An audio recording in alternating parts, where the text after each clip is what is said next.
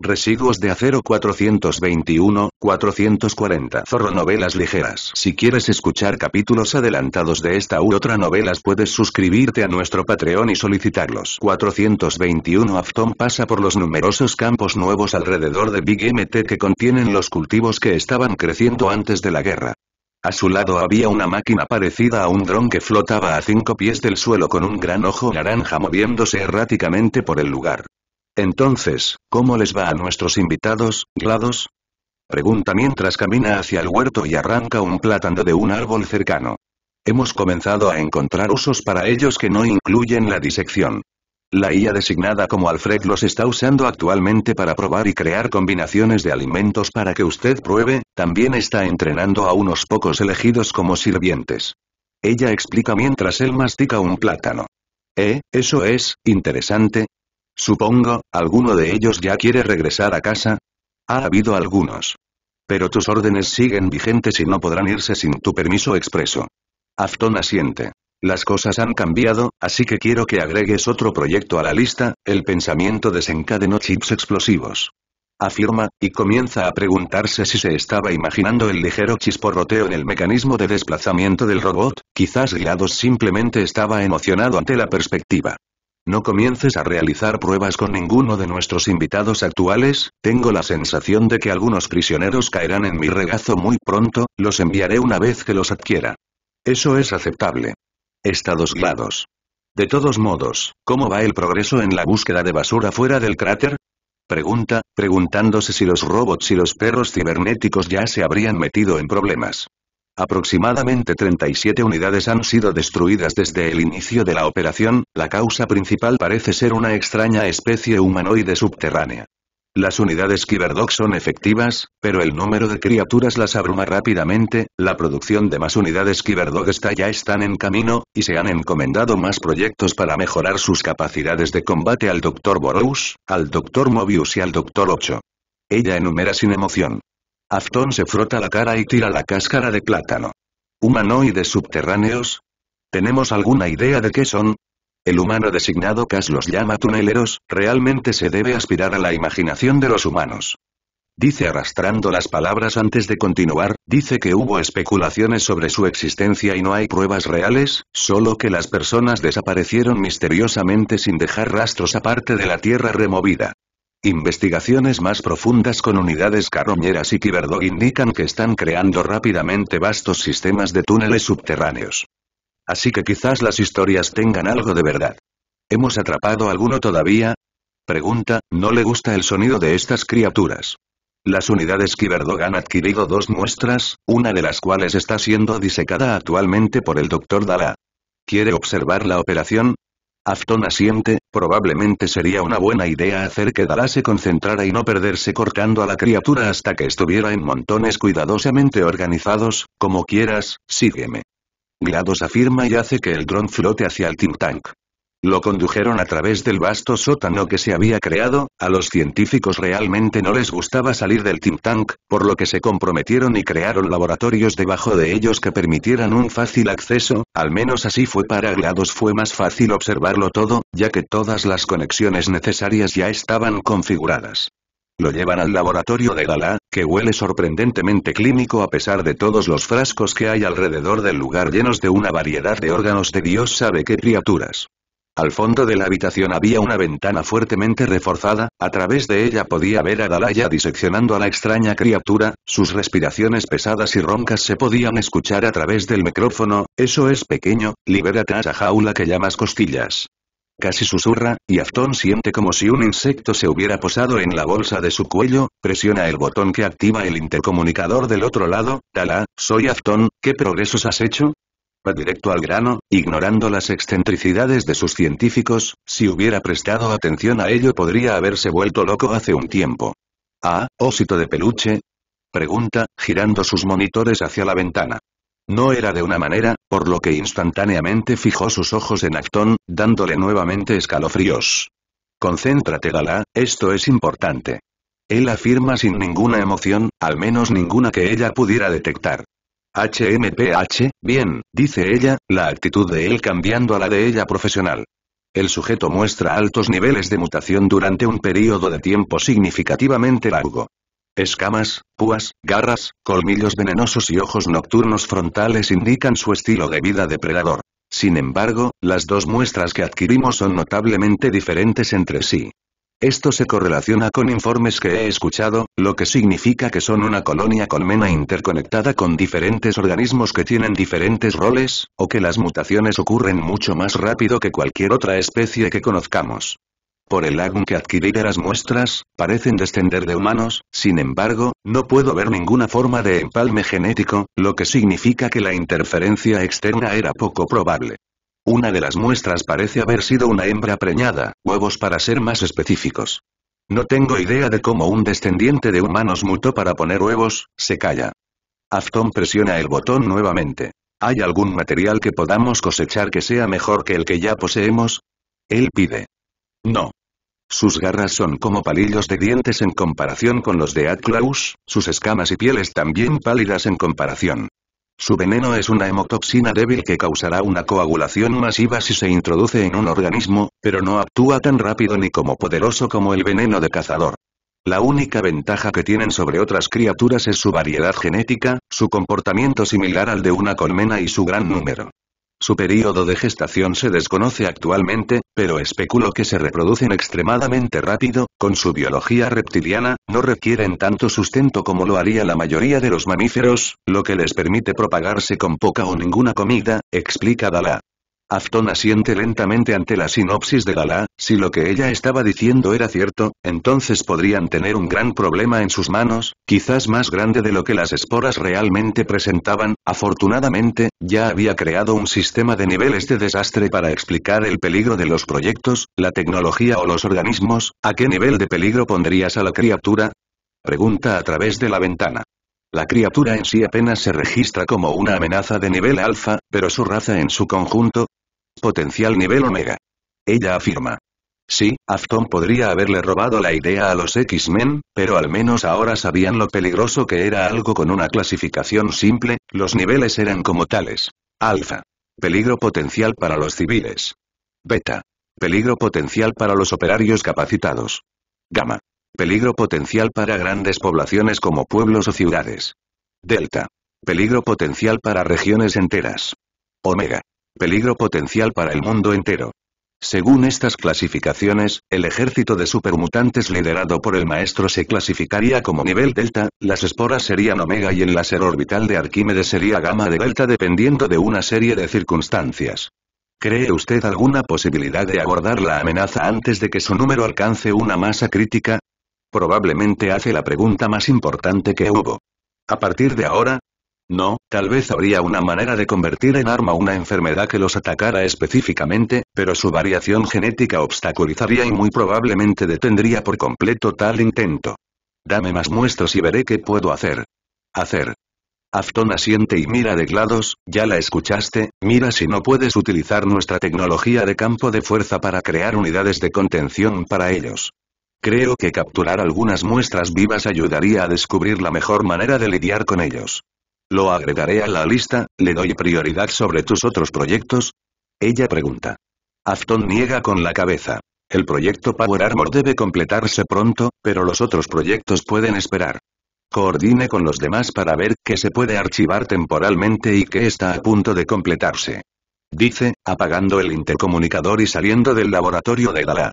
El dron continúa siguiéndolo, pero Lado se concentra en las tareas que acababa de darle, mientras camina por el Team Tank, Cass lo detiene, quien parecía estar saliendo del fregadero por alguna razón. Ah, Afton. Justo a quien necesitaba. Dice mientras se acerca a él. ¿Qué necesitas, Cass? Pregunta mientras la observa, parecía significativamente más saludable que nunca en Mojave. Sin embargo, más que cuando la vio en el puesto avanzado de la NCR, eso podría atribuirse a la cantidad bastante ridícula de whisky que bebía. Su cabello carecía de suciedad que dejara ver adecuadamente su color rojo natural, su piel estaba limpia y su piel ligeramente bronceada mostraba sus pecas con toda su fuerza. Su atuendo consistía en un guardapolvo de cuero de Cloud que ella había ayudado a hacer, jeans, botas pesadas y un sombrero suelto que colgaba de su cuello mediante una cuerda. De hecho, a Afton le sorprendió su inclusión en el proyecto de ropa de cuero de Deathclaw. Aparentemente, Klein había querido hacerles a todos trajes o algo así, Tala quería batas de cuero para pacientes de Deathclaw, Zero quería algo que se pareciera inquietantemente a los uniformes de los Power Rangers, Ocho quería túnicas por alguna razón, y Borous quería ropa tribal de aspecto chamánico, la única razón por la que una o todas esas sugerencias no estaban acumulando polvo en la sección de proyectos fallidos fue porque GLaDOS las detuvo, reconociendo que Afton llenaría su biogel con excrementos de Deathclaw si los veía ahí, por lo tanto, buscaría afuera. Ayuda. Obviamente, Cass tenía más experiencia en Oasteland que todos los científicos juntos, por lo que la consultaron. El resultado fue el plumero que tenía delante, se parecía a la piel de cocodrilo pero mucho más grueso y beige. Afton había observado cuando probaron sus propiedades defensivas y se alegró de que se hicieran. Las balas de 0,5 milímetros, 0,9 milímetros, 0,10 milímetros, 0,44 milímetros e incluso 0,308 eran casi completamente ineficaces contra él, aparte de los moretones que tendrías después. Las balas de escopeta no atravesaron, pero tenían suficiente fuerza para romper huesos en algunas circunstancias. Sin embargo, la perforación de armaduras era un problema, pero la única bala base que era capaz de perforar los plumeros era la de 50 mg. Por supuesto, eso era solo cuando considerabas el cuero de Atclaw normal, el plumero de cuero de Atclaw que Afton pretendía usar usaba la piel de una madre de Atclaw, su piel era negra y significativamente más fuerte y más gruesa que las normales. Sin embargo, tenía algunos aspectos negativos. Su peso lo hacía difícil de manejar para la mayoría de las personas, pero eso ciertamente no sería un problema para Afton ni para el otro uso previsto de la ropa, el uso secundario de los guardapolvos, además de ser ropa protectora, era ocultar una servoarmadura, haría que le hicieran guardapolvos más grandes que tuvieran capuchas, ocultarían completamente a alguien que usara servoarmadura, por lo que para cualquier explorador, sería parecen un simple vagabundo, incluso si fueran mucho, mucho más grandes de lo normal, en el peor de los casos, pensarían que un supermutante está deambulando por ahí. También proporcionaría cierto grado de camuflaje, a Afton siempre le había parecido estúpido que la hermandad del acero caminara por el desierto con una armadura metálica brillante, dejando literalmente a todos en un radio de unos pocos kilómetros quiénes eran y qué tecnología poseían. Por supuesto, podría asustar a la gente, pero preferiría que la gente no supiera sobre la armadura en primer lugar, al menos no hasta que fuera demasiado tarde. Si te encontrabas en un rango cuerpo a cuerpo contra alguien con servoarmadura, probablemente estabas a punto de destrozarte.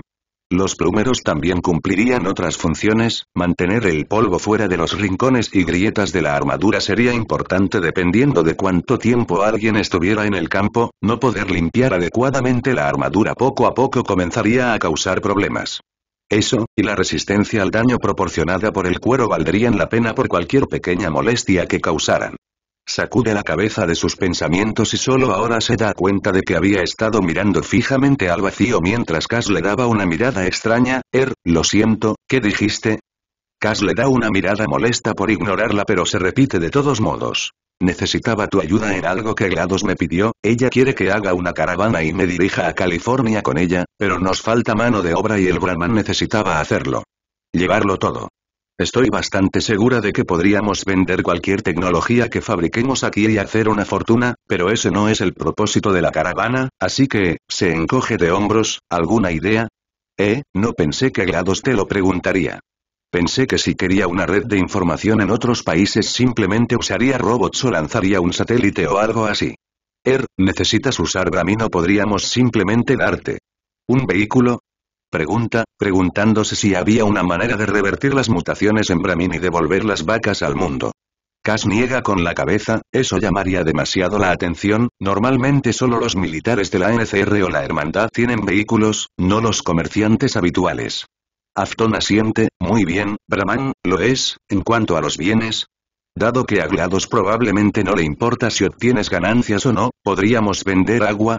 Nuevamente, Cass niega con la cabeza. El agua es demasiado pesada para la distancia que tendré que recorrer. No es lo suficientemente rentable y, además, hay muchos lugares en California donde se puede conseguir agua. Ella explica. Afton se cruza de brazos, HMM, A. Lo tengo, ropa. No solo cueros del páramo, sino ropa adecuada de antes de la guerra. ¿Quién en esta época hace trajes después de todo? Cass se encoge de hombros, el Ultralux. Afton resopla. Sí, pero dudo que hagan envíos por correo. Además, cualquier cosa que podamos hacer aquí sería sustancialmente mejor que lo que otros puedan producir. Casa siente, supongo que podría funcionar. Podría ayudarme a reunirme con los niveles más altos de California si vendo ese tipo de ropa, supongo. Pero eso no soluciona mi problema de falta de gente, GLaDOS me lo prohíbe. Incluso pensar en traer a las otras chicas aquí.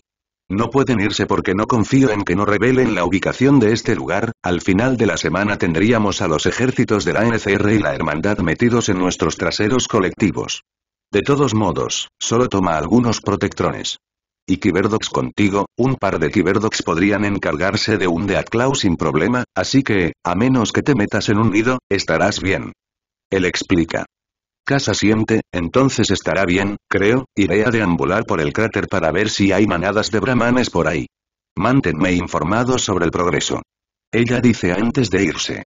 Afton mira el dron que flota a su lado, GLaDOS. Comience la producción con trajes de preguerra de alta calidad y haga que Klein y Mobius vean si es posible crear un dispositivo de escucha no metálico lo suficientemente pequeño como para no ser detectado. Estoy esperamos que estos trajes lleguen a la alta sociedad. Si podemos escuchar, estaremos mucho mejor informados. La producción de cuero de Atclaw se detendrá temporalmente si comenzamos la producción de trajes. Dice la IA, como si preguntara si eso es lo que pretende. Está bien, tenemos suficientes plumeros por ahora. Dice mientras finalmente se dirige al fregadero. Una vez que llega allí, su inteligencia aumenta gracias a la iluminación, lo cual es útil mientras se dirige directamente al laboratorio que había agregado al complejo. La nueva habitación en sí parecía un sueño mecánico, aunque estaba un poco desordenada.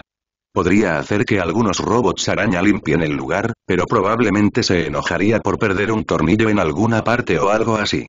Estar desordenado estaba bien si era tu desorden y generalmente sabías dónde estaba. De todos modos, camina directamente hacia el banco de trabajo que tenía pedazos de chatarra esparcidos encima, había estado trabajando en un proyecto durante un par de días, pero aún estaba en su infancia. Todavía no había tenido un momento eureka. Que había aumentado la cantidad de tiempo que llevaría este proyecto, de debajo del banco de trabajo saca lo que parece una barra de metal con mango. El mango en sí estaba lleno de células de microfusión para alimentarlo. Por ahora no funcionó, pero una vez que creara un prototipo viable, el Mojave, no. El mundo temblaría ante él. Ok, puede que sea un poco demasiado dramático, pero teniendo en cuenta lo que estaba haciendo, pensó que tenía derecho a serlo. El nombre del proyecto es, The Ultra Chainsworth. Poco original. Ligeramente, pero era lo suficientemente diferente de la versión de Warhammer que sintió que podía patentarlo de manera diferente, probablemente. Tenía la intención de tener una hoja protón como sus hachas protón, pero deseaba convertirla en una hoja giratoria como una motosierra, imagínese el poder cortante de un sable láser, combinado con una motosierra. Se le estaba poniendo duro solo de pensar en ello. Algunos podrían decir que no tenía sentido ya que los ejes de protones podían atravesar la mayoría de las cosas, pero él no estaría de acuerdo. Solo parecía así porque Afton lo estaba usando, contra objetivos desarmados y con armadura ligera corta bien, pero a menos que Afton lo estuviera usando, ahí es donde se detenía. Claro, si lo sostenías contra el metal el tiempo suficiente podrías derretirlo, pero eso no era de mucha ayuda en una pelea, entonces, si quería que sus compañeros pudieran cortar cualquier cosa, necesitaría la Ultra Chainsword. Además, fue jodidamente genial. De todos modos, el proyecto todavía estaba en sus primeras etapas y ni siquiera se había completado el 10%. El problema era hacer que la hoja de energía girara sin cortarse, los proyectores de energía en sí no estaban destinados a moverse, lo que los hacía increíblemente inestables y provocaban que se cortaran al azar. Sí, no había hecho ningún progreso, pero, todo lo que eso significaba era que estaba pasando por alto una respuesta obvia, una que encontraría eventualmente. Sus sueños de tener un ejército de servoarmaduras, Ultra Chainsword empuñando tipos rudos no serían sofocados. La atmósfera en Novak había tomado un tono sustancialmente diferente, la mayoría de la gente allí había pensado que la única amenaza era la Legión, pero cuando captaron a la NCR ya se coordinaban para atacar la ciudad, entrenando pasivamente a la milicia. Se había convertido en entrenar activamente un ejército. Algunas personas culparon de su situación actual a su salvador por estar anteriormente afiliado a la Hermandad del Acero y, como resultado, enemistarse con la NCR, pero la mayoría ya los odiaba lo suficiente como para no importarles, no era como si a la NCR le importaran una mierda antes, pero ahora que tenían a alguien que creció en el lugar equivocado, todos eran un objetivo. Aún así, no era como si estuvieran indefensos.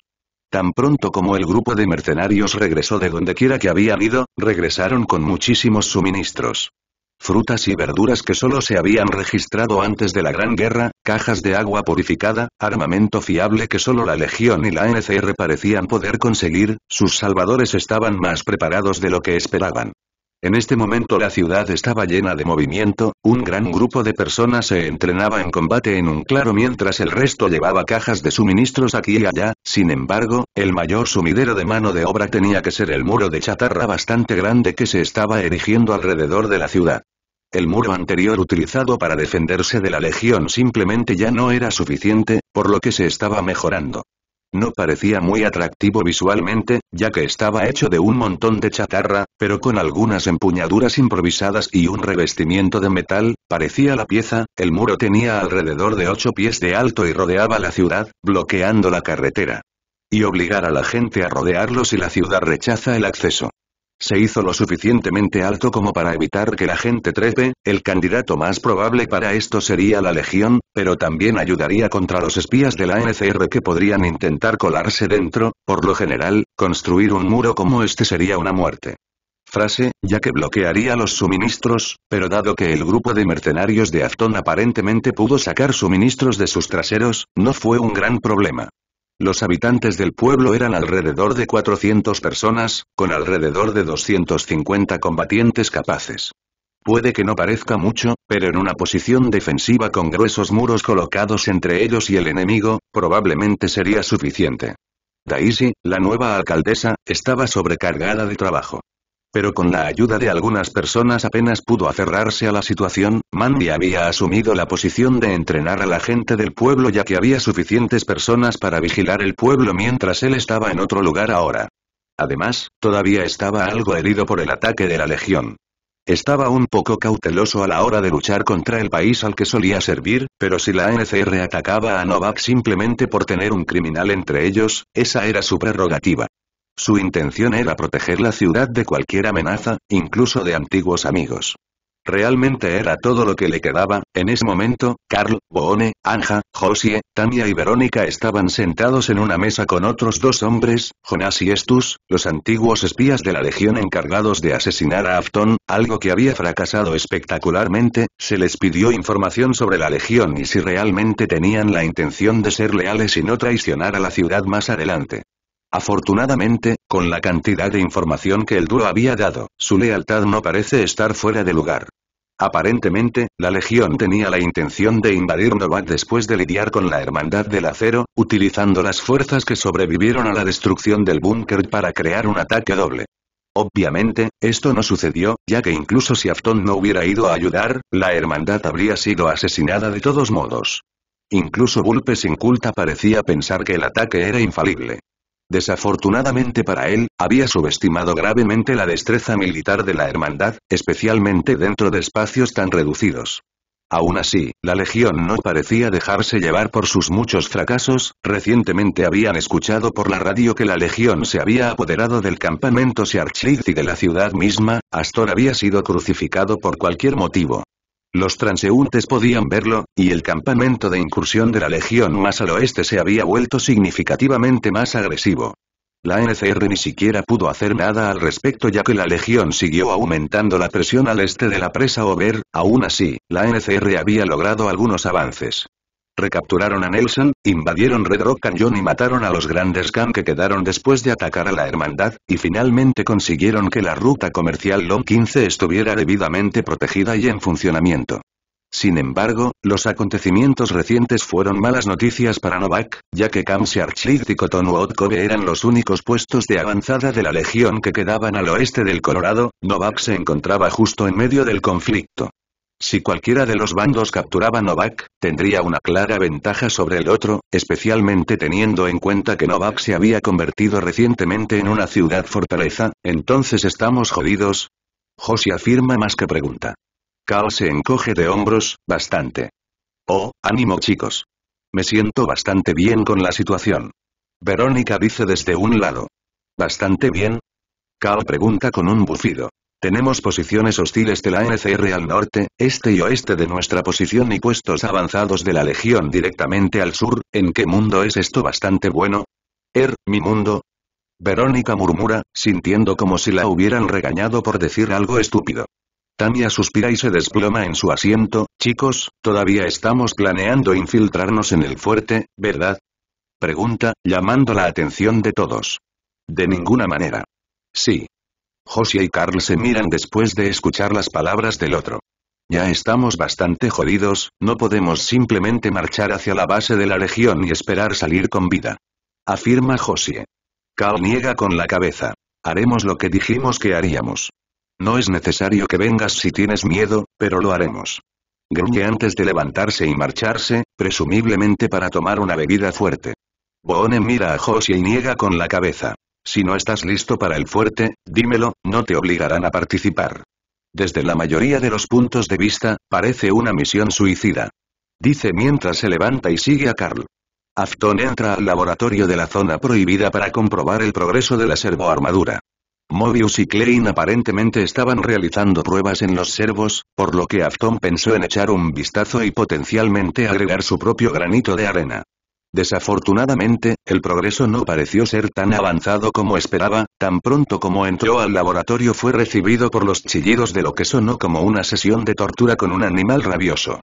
Técnicamente no estaba equivocado, solo que no en la forma que había pensado al principio.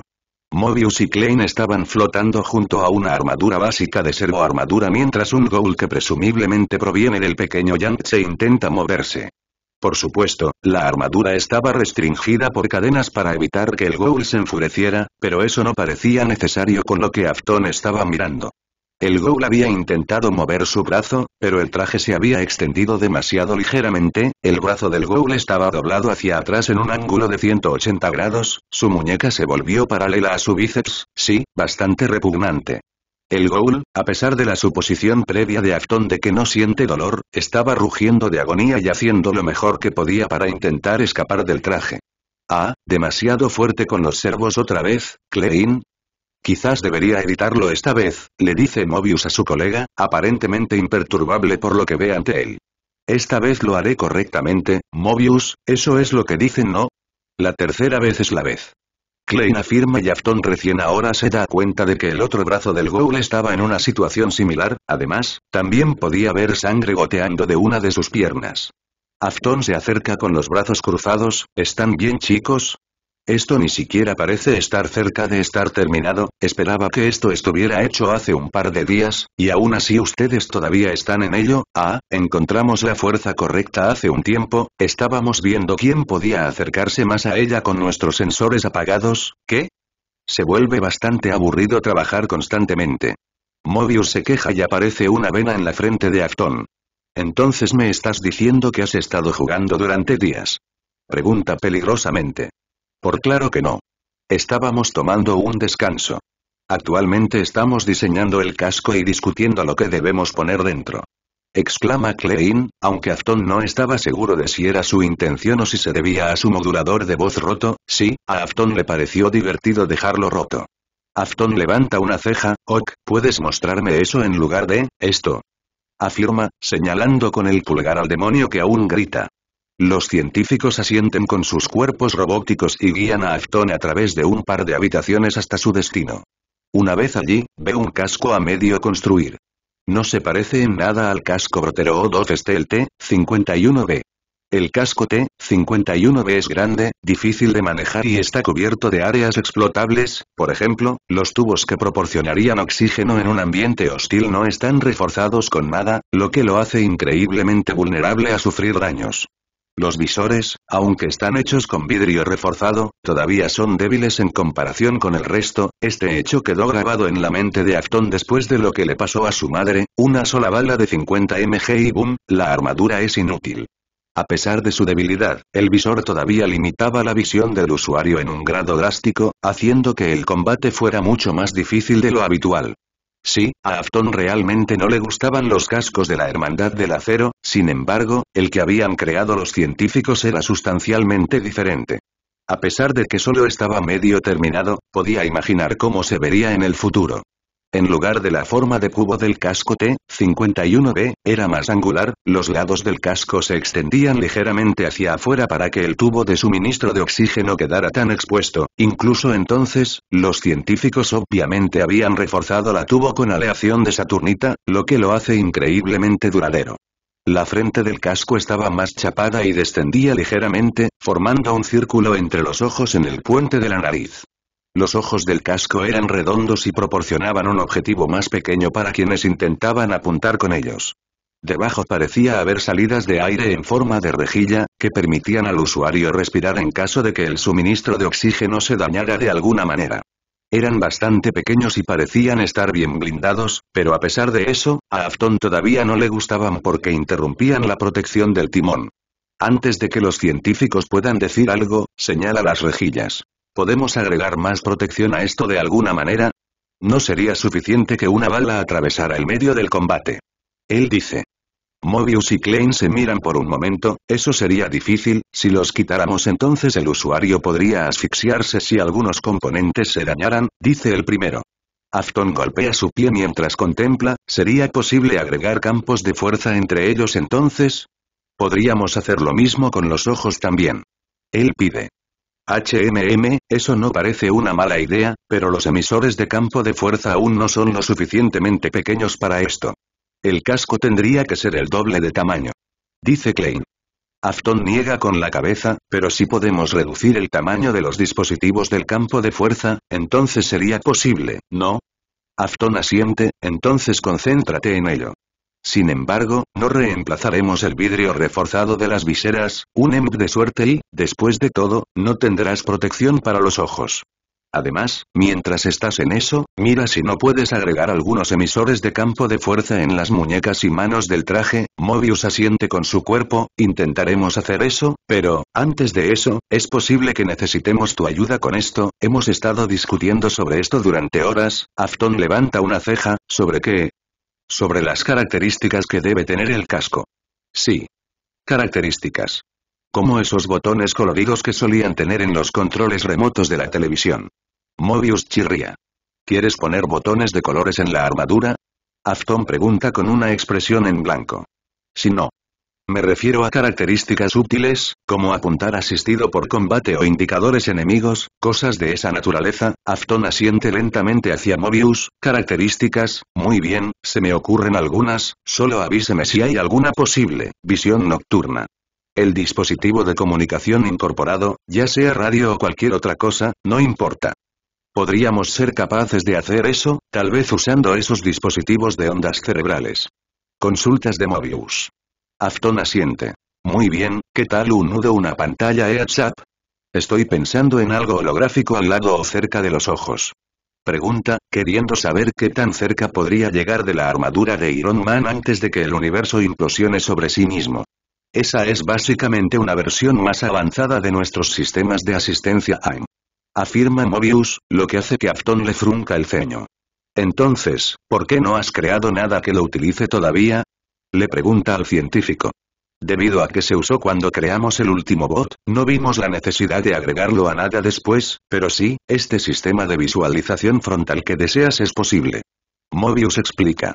Afton piensa por un momento antes de preguntar. ¿Sería posible permitir que GLaDOS acceda a sus sistemas?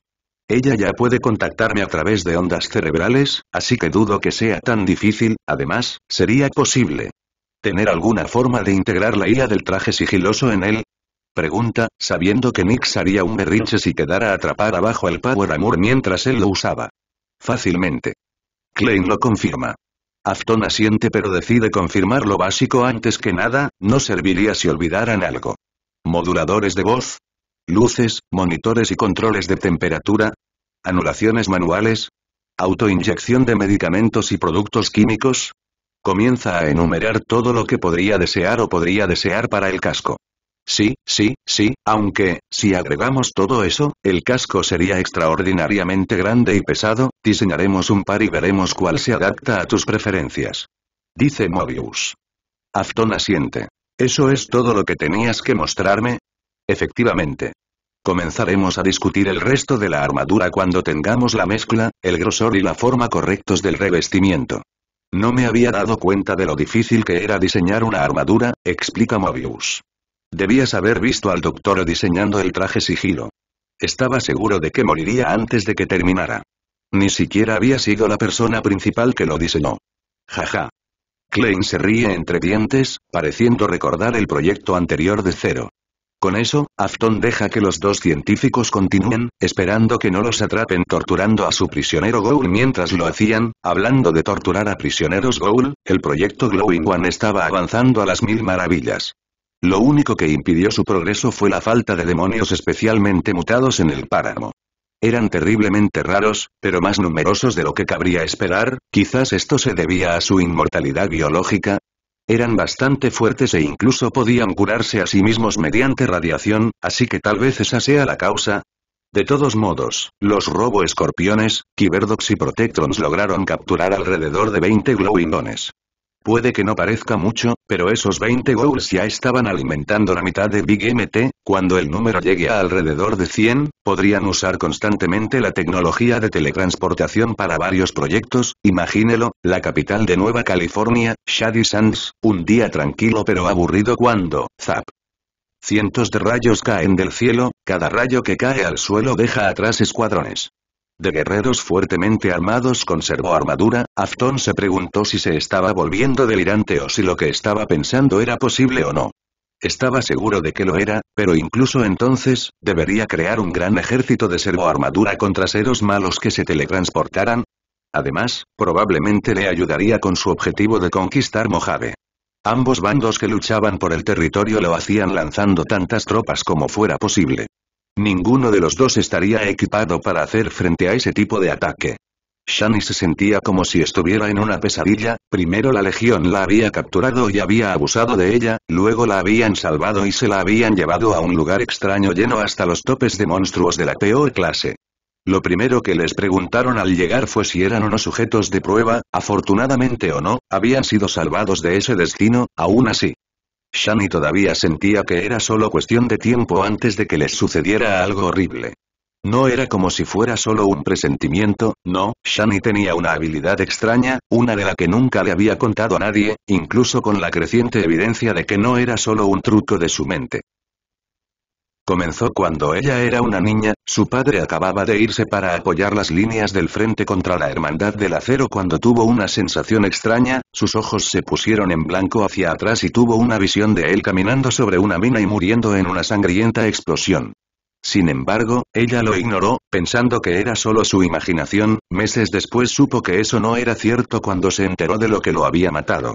Realizaron funeral a tapa cerrada por el lamentable estado de su cuerpo. Ella había sentido la misma sensación años después, su novio estaba trabajando en la oficina cuando recibió otra visión, esta vez lo vio, enterrado bajo los escombros con el cráneo aplastado. Inmediatamente, recordando el destino de su padre, utilizó una radio NCR para contactarlo y contarle lo que vio. Él la ignoró al principio, pero bajo sus súplicas cada vez más erráticas, finalmente escuchó, estaba a punto de salir de su oficina cuando la entrada se derrumbó, aplastándolo y demostrando que su visión era correcta una vez más, solo, su novio estaba el único muerto ya que la entrada fue lo único que se derrumbó, angustiada y sintiéndose responsable, dejó su ciudad natal, viajando de un lugar a otro hasta terminar en Mojave donde fue capturada, salvada y ahora aquí, desafortunadamente, había tenido otra visión, esta vez involucrándose a ella misma. Estaba atada a una mesa blanca mientras extraños seres robóticos la diseccionaban mientras ella gritaba de agonía, ese era el destino que la esperaba. Shani supo cuando recibió esa visión que tenía que escapar. No había otra opción, su futuro era una tortura y una muerte, así que bien podría hacer todo lo posible para evitarlo. Un par de días después, Afton, Kao y Anja estaban todos reunidos en lo alto de una colina que dominaba un campamento. Era uno de los campamentos de Legión Raid más nuevos que habían surgido últimamente.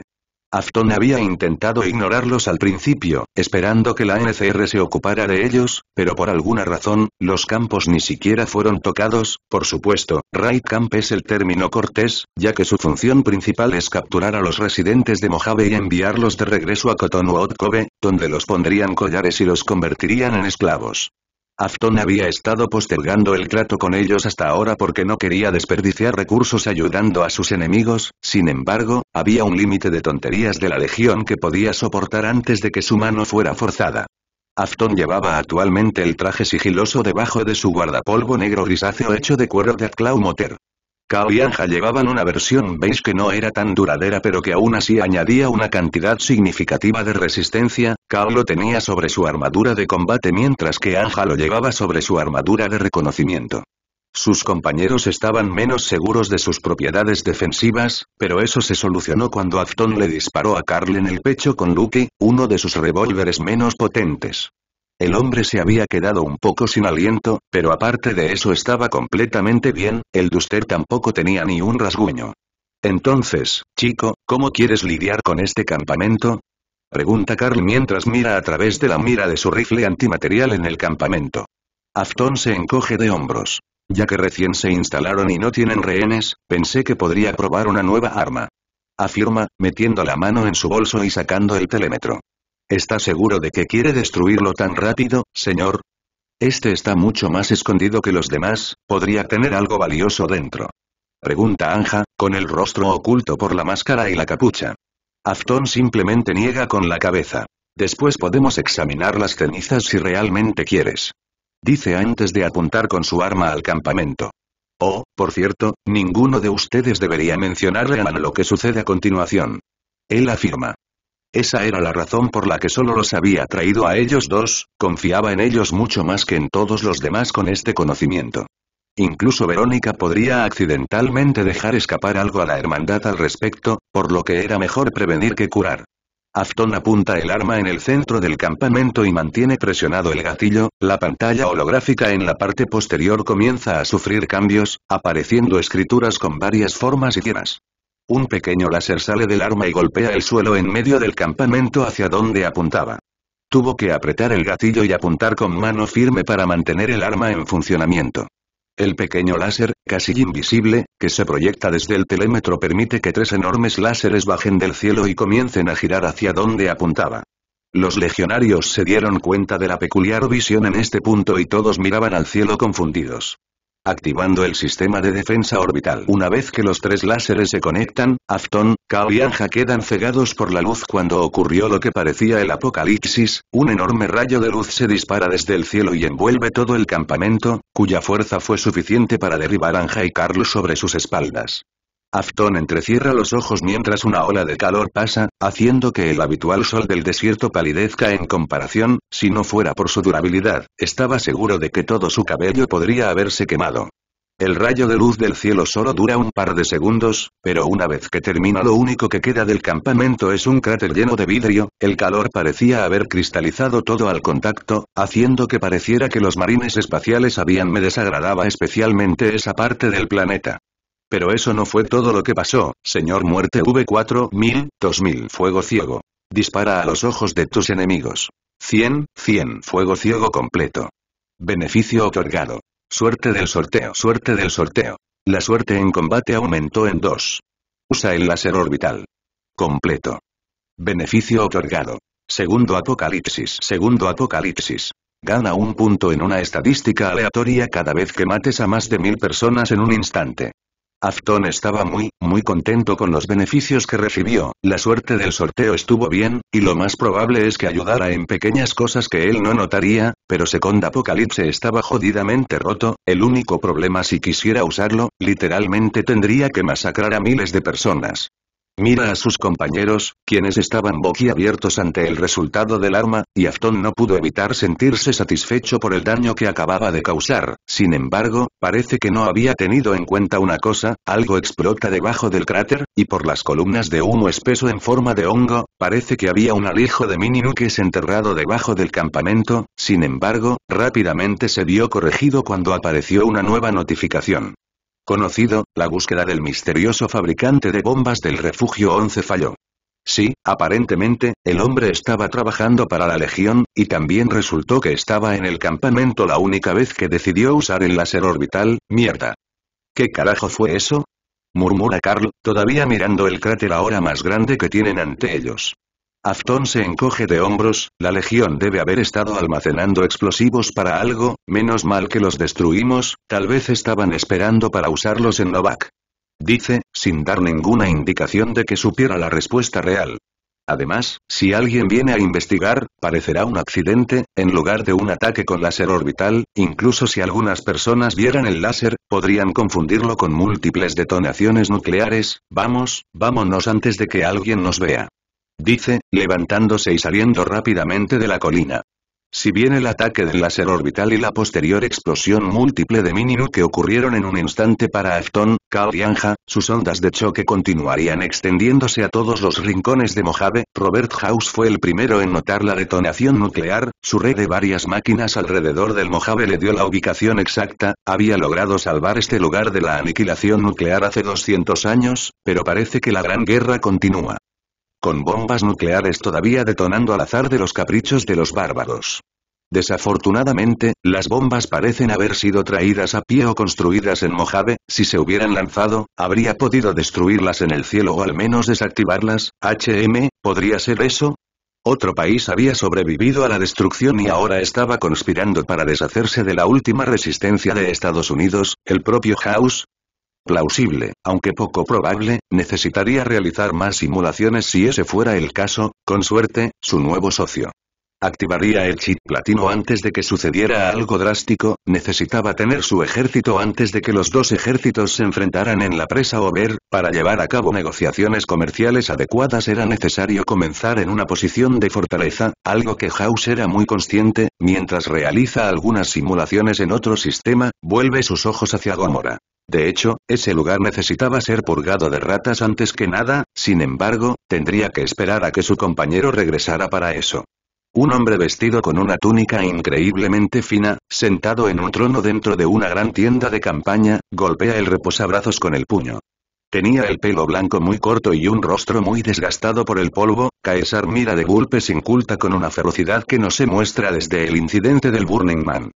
Bulpes Inculta acababa de dar la última noticia de otro de sus descabellados planes, eso sí, como parece ocurrir siempre, sus planes fracasaron estrepitosamente. Tanto es así que César casi mata a tiros al hombre mientras estaba arrodillado. ¿Qué quieres decir con que Olmes y el resto de su escolta fueron aniquilados? Ruge, los guardias apostados alrededor de la tienda se estremecen ante la ira de su líder. Bulpes Inculta se estremece bajo el resplandor, pero se recompone lo suficiente como para responder. Me temo que pudo haber sido un ataque enemigo, pero después de la detonación de todos los explosivos almacenados, no hay evidencia de ello. César le gruñe. Dijiste que sería seguro. No anticipé que se filtraría la información ni que el laboratorio subterráneo se vería comprometido. Si alguien tiene la culpa de esto, es Henry Olmes y su construcción desordenada de esas armas atómicas. Es, como usted dice, el gran César, una tecnología similar produjo el último apocalipsis, por lo que su pérdida no es grande. César golpea a Inculta en la cara, lo que hace que el hombre caiga a su lado. Sigues desagradándome, Bulpes. La tecnología del hombre era realmente buena para una cosa. Destrucción, y es por eso que permití tu plan en primer lugar. Tú tenía un objetivo. Sabotear la línea de suministro de la NCR, y me fallas, otra vez. Grita antes de dejarse caer en su trono, su rostro se transforma en una mueca mientras se frota las sienes.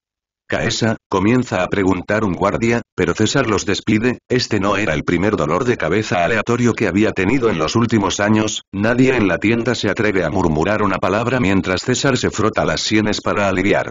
El dolor ligeramente, una vez que es manejable se vuelve hacia Bulpes nuevamente, dime Bulpes, ¿alguno de tus planes recientes realmente ha funcionado a nuestro favor? Pregunta en un tono bajo pero autoritario. Ese sí, César.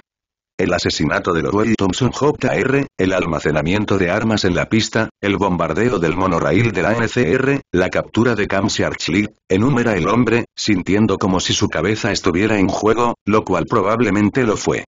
César asiente lentamente, a pesar de todos tus fracasos, aún avanzas en nuestra causa, que es lo único que me impide ejecutarte donde estás, Roma et defectum non patitur, Roma no sufre ningún fracaso, recuerda esto Bulpes, ya que puede ser la última misericordia que estoy dispuesto a otorgarte, si cometes un error y pierdes un activo valioso nuevamente, encontraré un castigo mucho más creativo en comparación con lo que le pasó a Joshua Graham, ¿estoy claro?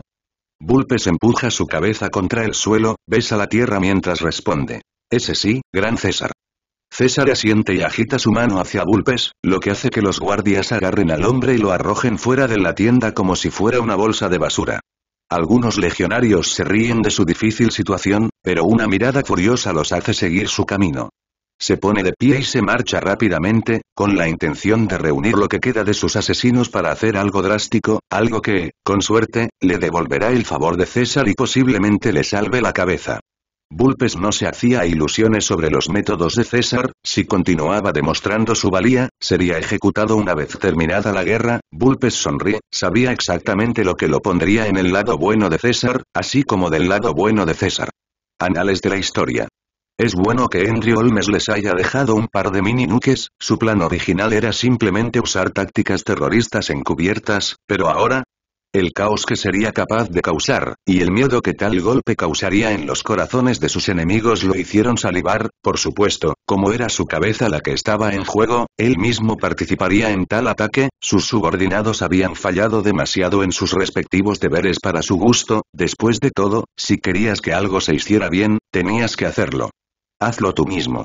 No muy al sur de Novak había un grupo de cuatro personas, el que los lideraba era un hombre con armadura de combate pesada completa, medía 6,4 pies y era muy musculoso, con un rifle grande y extraño en la espalda. Solo se sabía que su nombre era Drake, uno de los cazarrecompensas más infames de California. Además Drake era su amante y compañera de equipo, Madeleine. Era delgada, de rostro demacrado y vestía una armadura de cuero gris. Su cabello rubio estaba corto y medía alrededor de seis pies, sin embargo, el francotirador en su espalda era tan grande que casi tocaba el piso, en su cadera había una Magnum 44 con mira telescópica, una contramedida en caso de que alguien se acercara. Y personales. Detrás de ellos había dos hombres, o para ser más específicos, un hombre y un niño.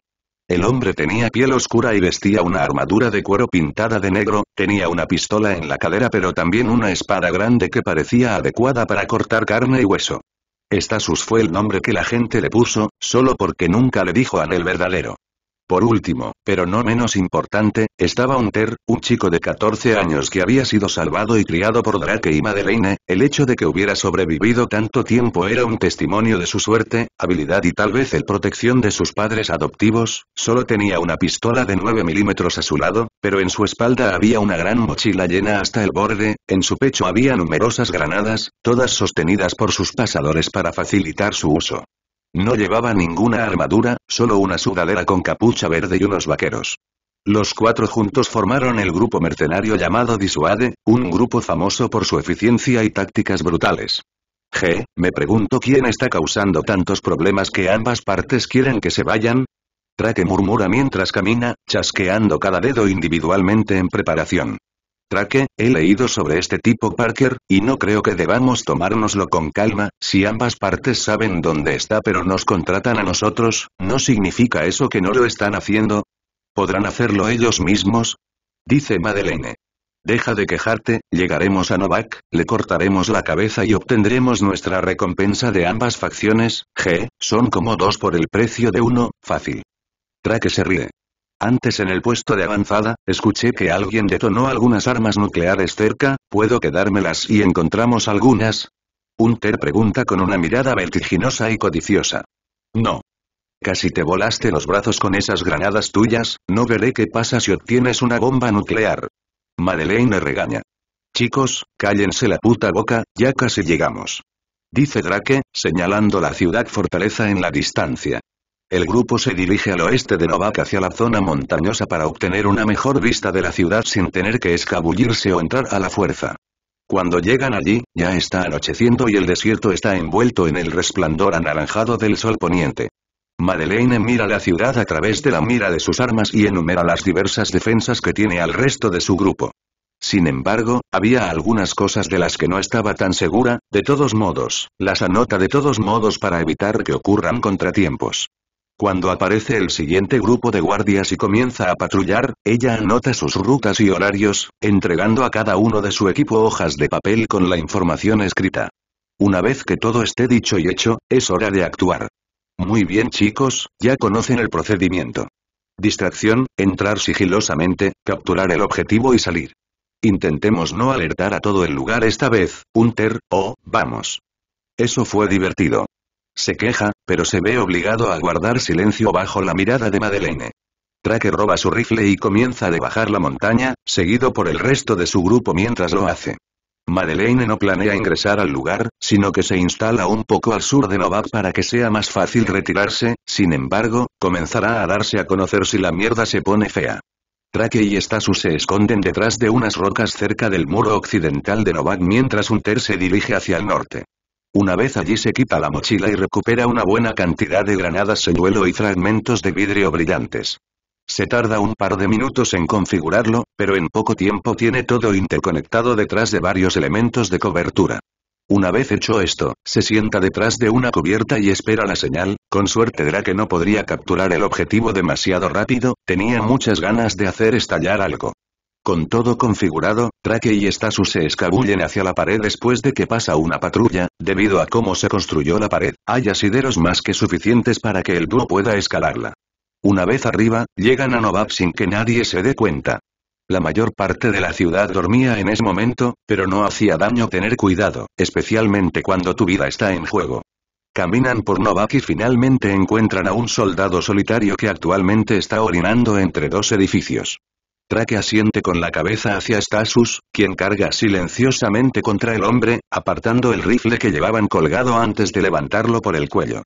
El guardia se ahoga cuando, literalmente, el hombre grande lo levanta del suelo, intenta luchar y liberarse, pero es inútil, sabe que su pistola está en su cintura, pero si intentara sacarla ahora, sería asesinado. Indefenso, el hecho de que aún no lo hubieran matado significaba que estos dos necesitaban algo de él. Muy bien estase, bájalo. Dice Drake, y el hombre grande lo deja caer en el charco de su propia orina. Drake asiente, muy bien, así es como va a ser, muchacho. Dinos lo que queremos saber o te haré algo horrible, genial. El guardia resopla y escupe a Drake, la flema aterriza en su mejilla y gotea lentamente.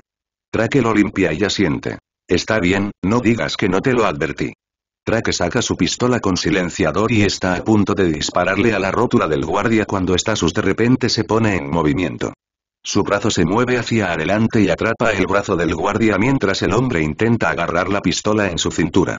Si el desafortunado guardia no parecía asustado antes, ahora sí lo parecía, TSK TSK, eso no fue muy agradable. Drake sonríe y dispara su arma a la rodilla del hombre mientras Stasus mantiene cerrada la boca de su víctima. MMMMMMRRRGGHHH. El guardia da un grito ahogado cuando su rótula se rompe, esta es una lesión que cambia la vida, el tipo de lesión que haría que un hombre en el páramo se suicidara, el tipo que no le daría a ese hombre otra opción. Stasus mantiene cerrada la boca del hombre mientras llora y continúa gimiendo, una vez que sus sollozos se callan lo suelta y que se arrodilla a su lado nuevamente. Ahora que entiendes tu situación, ¿dónde está Afton Parker? ¿P. Parker? No lo sé. Desaparece al azar y casi nunca muestra su rostro en la ciudad. Dice rápidamente el hombre, agarrándose la pierna destrozada. Trake sacude la cabeza y apunta con su arma a la otra rodilla del hombre, ahora, ahora. Eso no es lo que quiero escuchar, afirma, golpeando el cañón en su rótula. Y él vive en los apartamentos, y no sé en qué habitación, ese solo por favor no me dispares otra vez, por favor. Trake vuelve sus ojos hacia Stasus y continúa haciendo preguntas, ¿dónde están los apartamentos? Si hay guardias o no, quién más vive allí, etc. Una vez hecho esto, Stasus agarra al hombre por el cuello y le gira brutalmente la cabeza, matándolos instantáneamente. G, se lo tiene merecido el cabrón por escupirme. Trake murmura antes de girar en dirección a los apartamentos. Ahora, ¿cómo diablos vamos a encontrar la habitación de Parker? Stasus se encoge de hombros y le hace un gesto al muerto. Trake asiente, tienes razón, vayamos de habitación en habitación interrogando a la gente, eventualmente tenemos que hacer algo bien, dice, y el duro se aleja rápidamente. Desafortunadamente para el dúo, su elección de dirigirse detrás del edificio para explorarlo primero fue su perdición, dio la casualidad de que Dirtog estaba estacionado cerca y, sin que ellos lo supieran, el K-9000 siempre estaba activo. Un simulacro robótico del ladrido de un perro entra en los oídos del dúo y ambos se giran hacia su ubicación. Trake levanta una ceja ante el gran camión blindado con el arma relativamente pequeña en el techo, el arma que actualmente apuntaba hacia ellos. Trake está confundido cuando Stasus los arroja a ambos fuera del camino, chispas saltan de la armadura de metal del hombre grande mientras las balas hacen todo lo posible para atravesar las placas reforzadas. Apenas logran alejarse del extraño camión antes de que todas las luces del pueblo comiencen a encenderse. Mierda. Están tras nosotros. Trake gruñe, pero gira la cabeza hacia el norte mientras Unter pone en marcha su propio plan. Unter acababa de escuchar disparos y ver las luces dentro de Novak encendiéndose, esto probablemente significaba que Drake lo había jodido y necesitaba ayuda, afortunadamente, habían planeado esto. Tira de la cuerda que conectaba los pines a las granadas señuelo y provoca que se escuchen estruendosos disparos desde detrás de la cubierta. Para añadir efecto, el propio Hunter comenzó a disparar su pistola contra el muro, llamando la atención de los patos dentro de Novak, la mayoría de los cuales cargan hacia el lado norte del muro para defenderse de lo que parecía una fuerza sustancial. Los guardias en lo alto de la pared iluminan con sus linternas relativamente débiles el lugar donde se escucharon los disparos, e inmediatamente ven destellos de luz detrás de la cubierta, pensando que se trata de un enemigo, le disparan, sin darse cuenta de que estaban viendo la luz reflejada en fragmentos de vidrio. Por supuesto, si no fuera porque Hunter disparó su propia arma, podrían haberse dado cuenta de que era una distracción. Sin embargo, por ahora, no lo sabían por completo.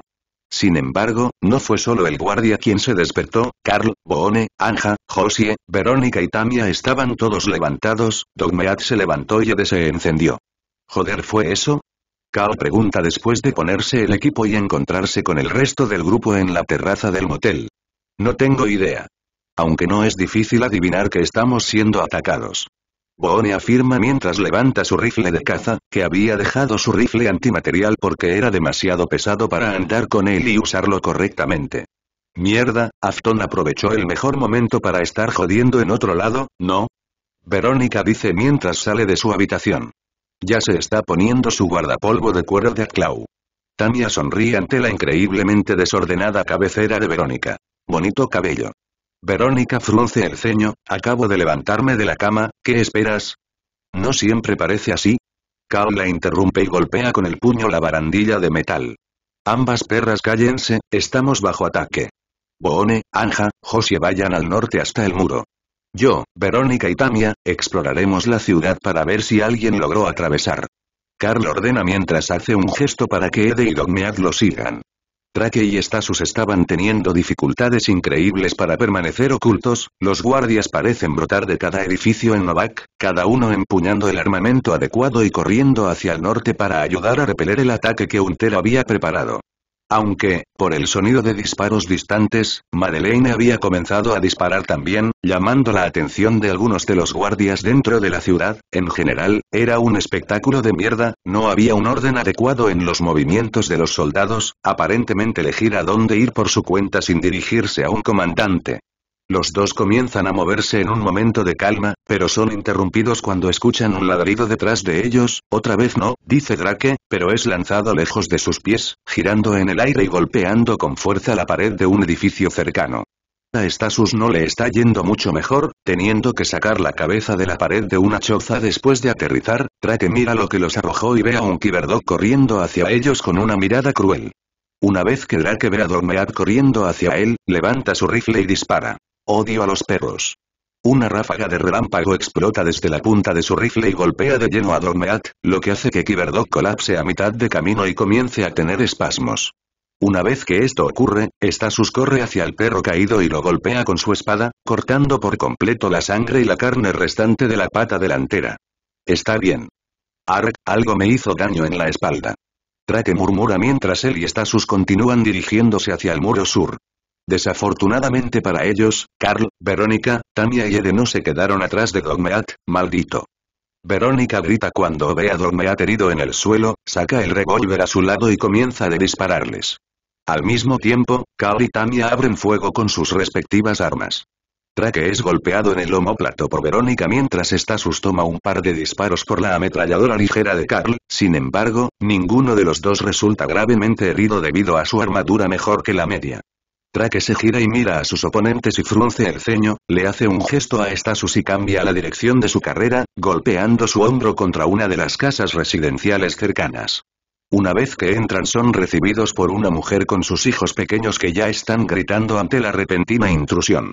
Stasus decapita a la mujer mientras él y Drake pasan corriendo, y su cadáver deja caer el arma oculta que intentó sacar. Suben las escaleras y llegan al dormitorio principal, colocándose alrededor de la puerta para matar a cualquier intruso. No pasa mucho tiempo para que Carl, Verónica y Tamia lo alcancen, Verónica entra primero y se ve obligada a levantar los brazos para bloquear el golpe de espada hacia su cuello, sus guanteletes blindados la protegen, pero una ráfaga de relámpago la golpea. El estómago, haciéndola salir tambaleándose de la habitación. Tamia corre a continuación, balanceando su hacha de protones salvajemente hacia Stasus, quien lucha por esquivar cada golpe. El arma deja rastros de larga duración en su armadura de metal y en las paredes del edificio, y el hombre comprende instintivamente que definitivamente dañaría su arma si intenta pararla. Nuevamente, Trake dispara otro rayo con su rifle, pero Tamia lo bloquea empujando su hacha de protones en el camino, una vez que el rayo golpea la hoja de energía azul, parece ser absorbido por ella, el arma brilla cada vez más. Cuanto más tiempo esté expuesto al ataque, sin embargo, no puede ver cuánto tomaría cuando Stasus lanza su espada hacia su cuello, obligándola a agacharse y retroceder hacia la esquina de la habitación. Cuando esto sucede, Cal entra y ya dispara su ametralladora ligera contra los intrusos. Chispas salen disparadas de la armadura de Stasus, quien apenas se lleva los brazos a la cara para bloquear las balas. Traque, al ver que se trata de una batalla perdida, desabrocha una granada aturdidora y la arroja al centro de la habitación, luego salta por la ventana hacia el techo del siguiente edificio mientras Stasus lo sigue. Carl, Verónica y Tamia al ver el flashbang inmediatamente se arrojaron fuera de la habitación, no sería la primera vez que un enemigo los fingió con una versión altamente explosiva, francamente, Carl no quería recibir ningún cibernético. Reemplazos de extremidades todavía. La granada explota y revela que en realidad se trataba de una simple granada, afortunadamente, el grupo había evitado los efectos desorientadores y estaban listos para perseguirlo nuevamente. Regresan corriendo a la habitación y saltan por la ventana para seguir al duro. Trake y Stasus corrían hacia el sur a lo largo de los tejados, el sonido del vidrio rompiéndose había atraído a algunos soldados Novak, pero habían logrado evitar ser detectados recostándose en el techo mientras se movían. Sin embargo, no pasó mucho tiempo antes de que sus perseguidores saltaran por la ventana para seguirlos. Traque grunde y mira su ar. Activa el interruptor de seguridad del arma modificada que cambia el modo de disparo, en lugar de arcos de rayos no letales, dispararía rayos concentrados que quemarían y destruirían la carne si impactara. Sabía que las personas que los perseguían eran unos cabrones duros, recibir un impacto del rifle debería haberlos dejado inconscientes, pero aparentemente tenían algún tipo de protección. Muy bien, veamos si les gusta esto, cabrones. Murmura en voz baja y se da vuelta, refugiándose detrás de la cornisa de un edificio. Cal apenas se aparta del camino cuando un solo rayo pasa, golpea la pared detrás de él y crea una larga prueba de fuego durante el segundo que estuvo disparando. ¿Qué carajo está disparando ese tipo? exclama, sin haber visto nunca antes un arma así. ¿A quién le importa? Solo dispárales. Verónica reprende, recargando su revólver mientras intenta acercarse al duro. Tamia salta sobre la cobertura que había tomado y corre hacia el enemigo, levantando su hacha de protones en preparación para el ataque, solo para que la hoja de energía se desactive una vez que el rayo la golpee. Luego, el arco del relámpago procede a tallar una línea larga y cruel en su armadura de combate, sin embargo, una vez que se extiende a su plumero de cuero de Atclaw, el daño se reduce significativamente, aún así, la cantidad de rayos que acababa de caer sobre ella fue suficiente para detener el corazón de alguien. Afortunadamente, la armadura de combate fue diseñada teniendo en cuenta las armas de energía y tenía un buen grado de aislamiento, lo que evitó su muerte instantánea. Ella les grunde e intenta reactivar su hacha de protones, pero la encuentra defectuosa, como resultado, se ve obligada a retirarse detrás de una cubierta y dispararles con su propia Magnum 44. No podemos acercarnos a ellos.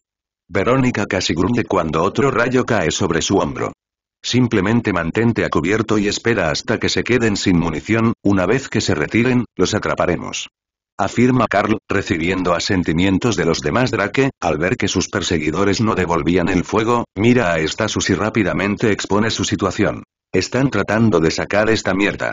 Tenemos que hacerlo antes de que se den cuenta de la distracción de Unter. Se quedan quietos mientras él dispara un par de rayos más antes de saltar del techo y correr hacia la pared sur. Ya podían ver el tiroteo entre los soldados y Madeleine.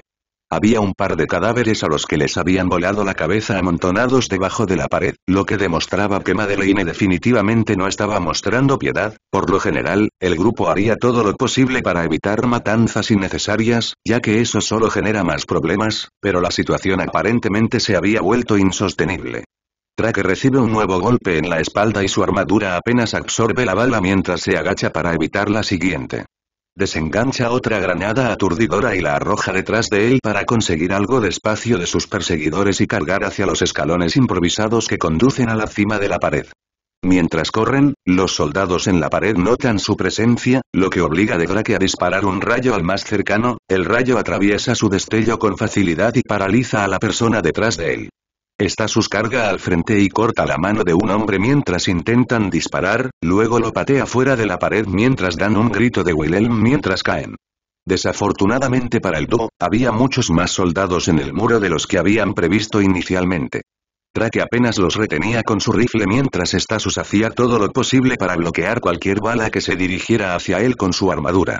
Madeleine, por supuesto, los estaba ayudando, pero un francotirador tan poderoso como el suyo no podía hacer mucho contra unidades blindadas ligeras, estaba hecho para objetivos pesados individuales, no para grupos.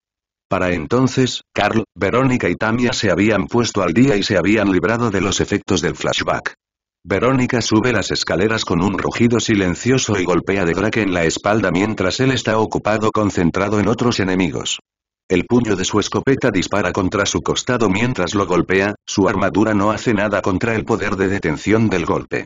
Un chorro de sangre sigue a una parte de su costado que es destruido, la fuerza del golpe lo lanza hacia adelante, enviándolo al suelo y accidentalmente fuera de la pared. Stasus intenta tomar represalias con un golpe, cortando su hombro y logrando golpear, desafortunadamente, su armadura de combate combinada con el plumero de cuero de Aklau hace que sea casi imposible que su espada la lastime, en lugar de eso, muerde el metal polímero de armadura y se aloja allí. Verónica aprovecha esta oportunidad para golpear a Stasus en la cara, pero el hombre lo esquiva hacia atrás y finalmente retrocede contra el costado de la pared. Hay un francotirador. Baja la cabeza. Carl logra gritar, permitiendo que Verónica se agache a tiempo cuando una pesada bala pasa por su cabeza, rozando su cabello y llevándose algunos mechones con él, no es que a Verónica le importe, ella odia su cabello, Tania se asoma por las escaleras y dispara un par de tiros más a Stasus mientras el hombre le bloquea la cara con los brazos, la mayoría de ellos no le hacen nada a su armadura de metal, pero logra encontrar apoyo en los espacios en sus articulaciones. Cal llega y está a punto de descargar su ametralladora ligera sobre el hombre, pero Stasus parece arriesgarse lanzándose desde la pared. La pared en sí no es tan alta, por lo que una vez que el grupo mira, ven a Stasus llevándose a Drake gravemente herido. La cabeza de un soldado a su lado explota en una niebla roja, lo que obliga a todos los demás a esconderse tras una cubierta, aparentemente incapaces de perseguir al duro que se retira. Joder, joder, joder. No podemos dejar que esos pedazos de mierda se escapen. ¿A cuántas personas mataron? Verónica grita, pero Tamia y Carl la obligan a bajar para evitar que haga algo estúpido. ¿Tienes deseos de morir o algo así? Sigue jodidamente abajo o te saldrá otra cuenca del ojo. Carl responde en voz alta, usando la espada alojada en su hombro como palanca para mantenerla quieta. Al menos no estamos con las manos vacías, nos dejaron algunos regalos. Afirma, señalando el rifle que ese cabrón había estado usando para disparar rayos. No pasa mucho tiempo antes de que un valiente soldado que asoma su cabeza vea las figuras desaparecidas, lo que significa que habían escapado a algún lugar al que no podrían seguir, Kao suspira y deja ir a Verónica, apoyándose contra el borde de la pared. ¿Ahora envían asesinos tras nosotros? ¿Debería sentirme orgulloso de que parezcamos lo suficientemente importantes? Bromea. Verónica niega con la cabeza. Lo que quiero saber es quién los envió, la NCR o la Legión. Tania frunce el ceño, o la hermandad, ese tipo Ardin no parecía feliz de que le golpearan el trasero. Verónica parece estar a punto de refutar eso, pero Carl habla. Oh, joder, dejamos a Dogmeat, los otros dos lo miran con los ojos muy abiertos y rápidamente se ponen de pie, corriendo hacia donde habían visto al Kiberdog por última vez. Una vez que llegan, ven al Kiborg lloriqueando con Ede flotando protectoramente sobre él. La pierna de Dogmeat había sido cortada y estaba sangrando lentamente, pero un rápido torniquete y vendas lo solucionaron temporalmente por el momento.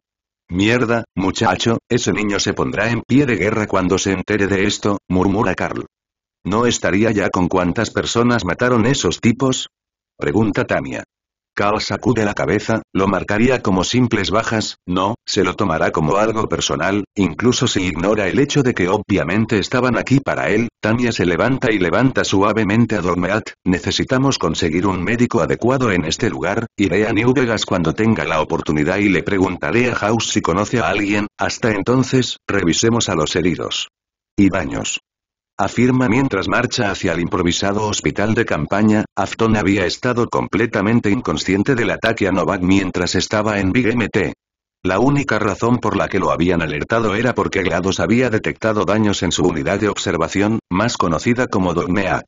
Una rápida teletransportación y estuvo una vez más dentro de Novak, inmediatamente fue recibido por muchas armas apuntándolo, los soldados de Novak estaban todos nerviosos y esperando a que enfrentaran más intrusos.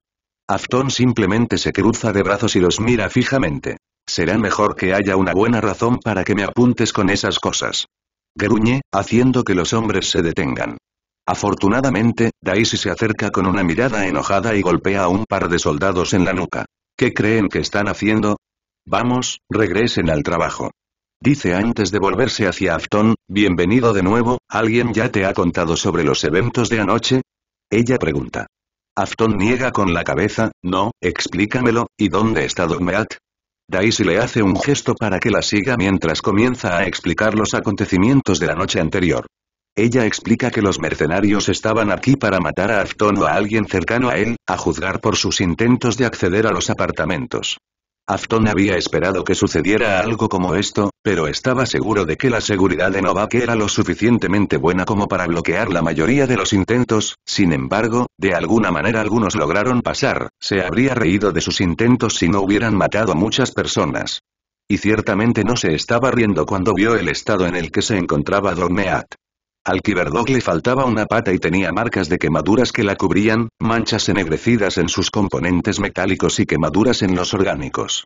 Dogmeat gime mientras se arrodilla junto a él para examinar sus heridas, pero Afton no estaba realmente seguro de qué arma causaría algo como esto, GLaDOS estaba ayudando a examinar sus sistemas e informó que algunos de sus nervios habían sido fritos, algo que un lanzallamas normalmente no haría, después de un par de minutos, GLaDOS finalmente le dice que transporte a Dogmeat a Big MT para que pueda repararlo. O reemplazado. Afton asiente para sí mismo y lo hace, teletransportando a Dogmeat de regreso para que Borous, Tala, GLaDOS y los otros robots pudieran ayudar a arreglar a Dogmeat, con suerte, no tendría que ser reemplazado, Dogmeat había sido un buen chico en lo que respecta a estaba preocupado. Después de ver a Dogmeat, busca a sus compañeros y finalmente encuentra a Devone en la pared sur vigilando el camino. Yo Boone, ¿dónde están todos? Todos parecen haber desaparecido, pregunta mientras se acerca, Boone ni siquiera se mueve ante su repentina aparición. Todos menos Tamia deberían estar atendiendo a los heridos, o al menos, ayudando a aquellos que saben algo al respecto, eres médico, ¿verdad? Probablemente deberías estar ahí abajo también. Él afirma. Afton asiente, lo estaré, pero necesito asegurarme de que todo esté bien antes de eso, ¿dónde dijiste que está Tamia? Se fue para ir a buscar un médico.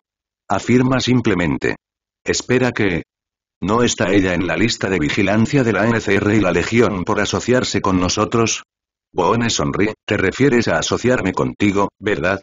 De todos modos, ella tiene la protección de House, así que debería estar bien por ahora, también tomó ese robot flotante, además, esa mujer puede manejarlo.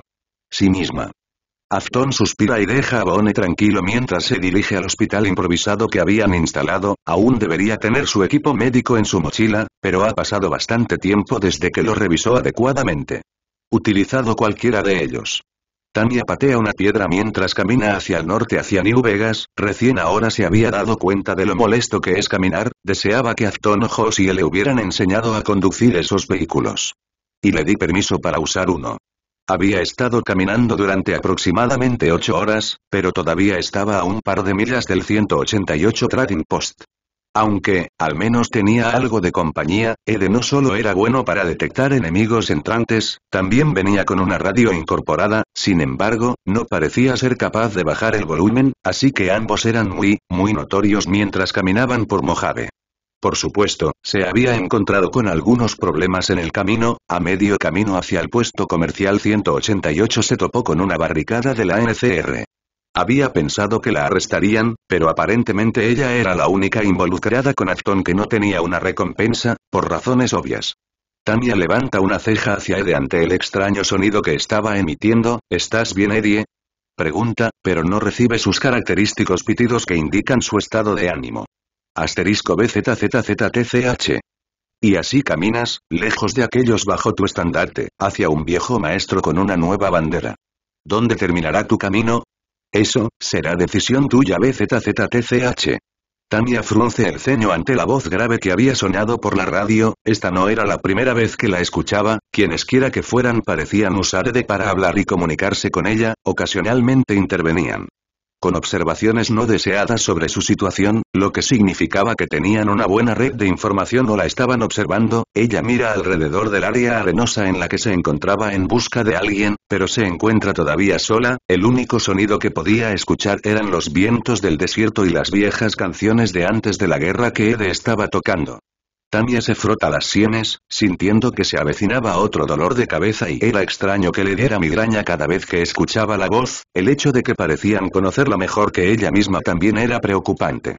Afton dice que la voz pertenecía a quien ayudó a salvar a su hermana en todo menos sangre, Christine.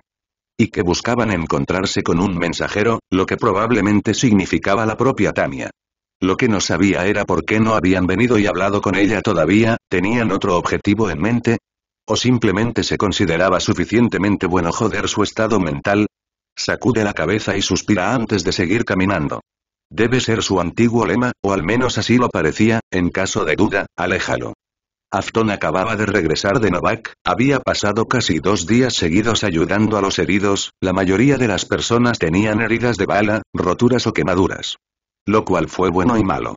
Bueno porque la mayoría viviría, malo porque la mayoría de las personas que resultaron heridas en combate murieron directamente. Quienquiera que fueran los mercenarios, definitivamente hablaban en serio. Cortes letales en cuello y órganos vitales, disparos en la cabeza, etc., la mayoría de los heridos fueron consecuencia de disparos desviados, metralla de cobertura y accidentes. Por supuesto, Novak estaba alborotado, y aquellos que habían sobrevivido al ataque estaban entrenando mucho más que nunca antes, algunos hasta el punto de desmayarse. En lo que a Afton concernía, fue una llamada de atención para aquellos que se lo estaban tomando con calma bajo su protección. No era como si no hubiera notado a los pocos gorrones que tomaban su comida y hacían un entrenamiento mínimo. Algo así era como unas vacaciones para la mayoría de los habitantes de Mojave, sin embargo, ahora podrían intentar esforzarse un poco. El propio Afton decidió ayudar a acelerar la construcción de la servoarmadura. Era hora de enviar un mensaje a la NCR y a la Legión. Asegurarse de que ninguno quisiera joderlo a él ni a su gente. Pensó que irrumpir en el fuerte ante las narices de César y salir con vida y sin bajas sería suficiente. Shani hace un gesto hacia el baño para que sus amigos cercanos se unan a ella, una vez dentro, los mira a todos a los ojos y les dice. Todos vamos a morir si nos quedamos aquí. El resto del grupo la mira con los ojos muy abiertos. ¿Qué?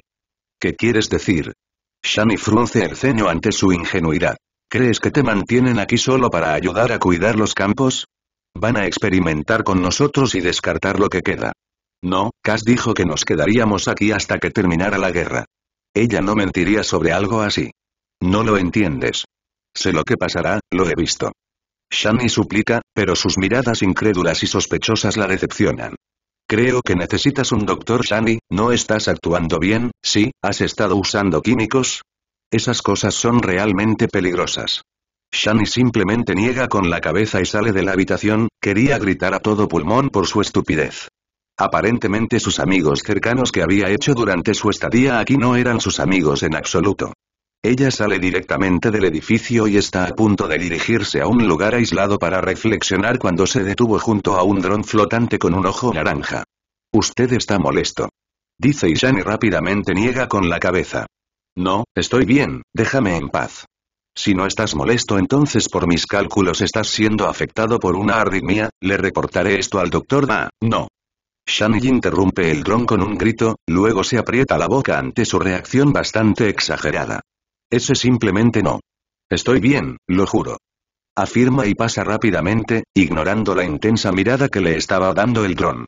Informe, el trabajador orgánico 31 está actuando de manera inusual y solicita vigilancia adicional. GLaDOS piensa después de recibir la información de uno de sus drones, de hecho, había estado vigilando a este humano ya que de repente había estado actuando según sus expectativas sin ningún motivo. Los robots araña que había colocado para espiarlos habían registrado todo el incidente en el baño de mujeres, por lo que estaba claro que el organismo estaba teniendo un brote psicótico, o sabía algo que GLaDOS no sabía, GLaDOS obviamente ignoró la última opción. Ella era la IA más avanzada que jamás se había construido o se construirá jamás. Era imposible que alguna vez se equivocara, solo que la malinterpretaran. Ella baja su cuerpo al Tank y enfoca su único ojo naranja en el Dr. Dala, el trabajador orgánico 31 necesita una evaluación psique, esto debe completarse dentro de 48 horas. Afirma antes de irse, sin esperar a que el científico responda. Shani grita mientras cientos de pequeños robots araña la arrastran al Tank. Tenía los brazos y las piernas sacados y no podía hacer nada más que retorcerse en un vano intento de escapar de la captura. Su corazón latía furiosamente ante el hecho de que su vida podría terminar pronto, pero no antes de una tortura agonizante y dolorosa, los robots araña continúan llevándola por las instalaciones y, finalmente, terminan en un laboratorio subterráneo. La agarró por un brazo mecánico que brota del techo y la colocó en una cama de cirugía, luces brillantes la cegaron momentáneamente mientras la obligaban a tumbarse de espaldas.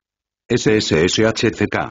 El sonido de una puerta abriéndose llama su atención, y ve a uno de esos extraños científicos flotando dentro, los extraños monitores proyectando rasgos faciales mirándola especulativamente. Saludos, soy el Dr. Dala. He recibido información de que su estabilidad mental está en duda, lo examinaré, y después de que se le haya considerado cuerdo, lo depositarán en su lugar de trabajo o en su casa, dependiendo de dónde deberías estar. Tala explica, pero esto no tranquiliza a Shani, quien todavía estaba segura de que su muerte estaba cerca. MMM. Tala tararea. Sin respuesta, posible daño en los oídos, el tímpano o la corteza auditiva, 31, ¿me oyes? Yo sí, Shani tartamudea, dándose cuenta de que no cooperar tendría muy, muy malos resultados. ¿Me ignoraste antes de eso, o simplemente no pudiste escucharme? Te escuché, simplemente no pude encontrar las palabras correctas. Shani dice, encontrándose inconscientemente concentrándose en los diversos cortes de cuero cabelludo, taladros y sierras conectados a los manipuladores del científico. ¿Oh? ¿Y por qué, mi pequeño sobre de piel? Pregunta con curiosidad. Tengo miedo de ti, miedo de lo que puedas hacerme, admite, sintiendo que ser llamada Skimbelope debería derivar en una reacción mucho mayor que la que ella dio. Oh. ¿Por qué tendrías miedo de mí? El 67% de mis operaciones han resultado exitosas, esto no incluye mi tasa de lobotomía del 99%, la única de las cuales fallaría sería mi ósito de peluche. Tala dice, solo asustando más a Shani. ¿Este escaneo sí que incluye una lobotomía? Shani piensa para sí misma mientras comienza a sudar bajo las luces brillantes. Afton está de regreso en el laboratorio de la cúpula prohibida después de ayudar a los heridos en Novak durante un par de días.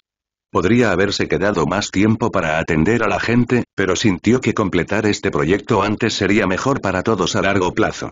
Había recibido noticias de que uno de los invitados había requerido una evaluación psicológica, pero lo ignoró por ahora y en su lugar entró al laboratorio.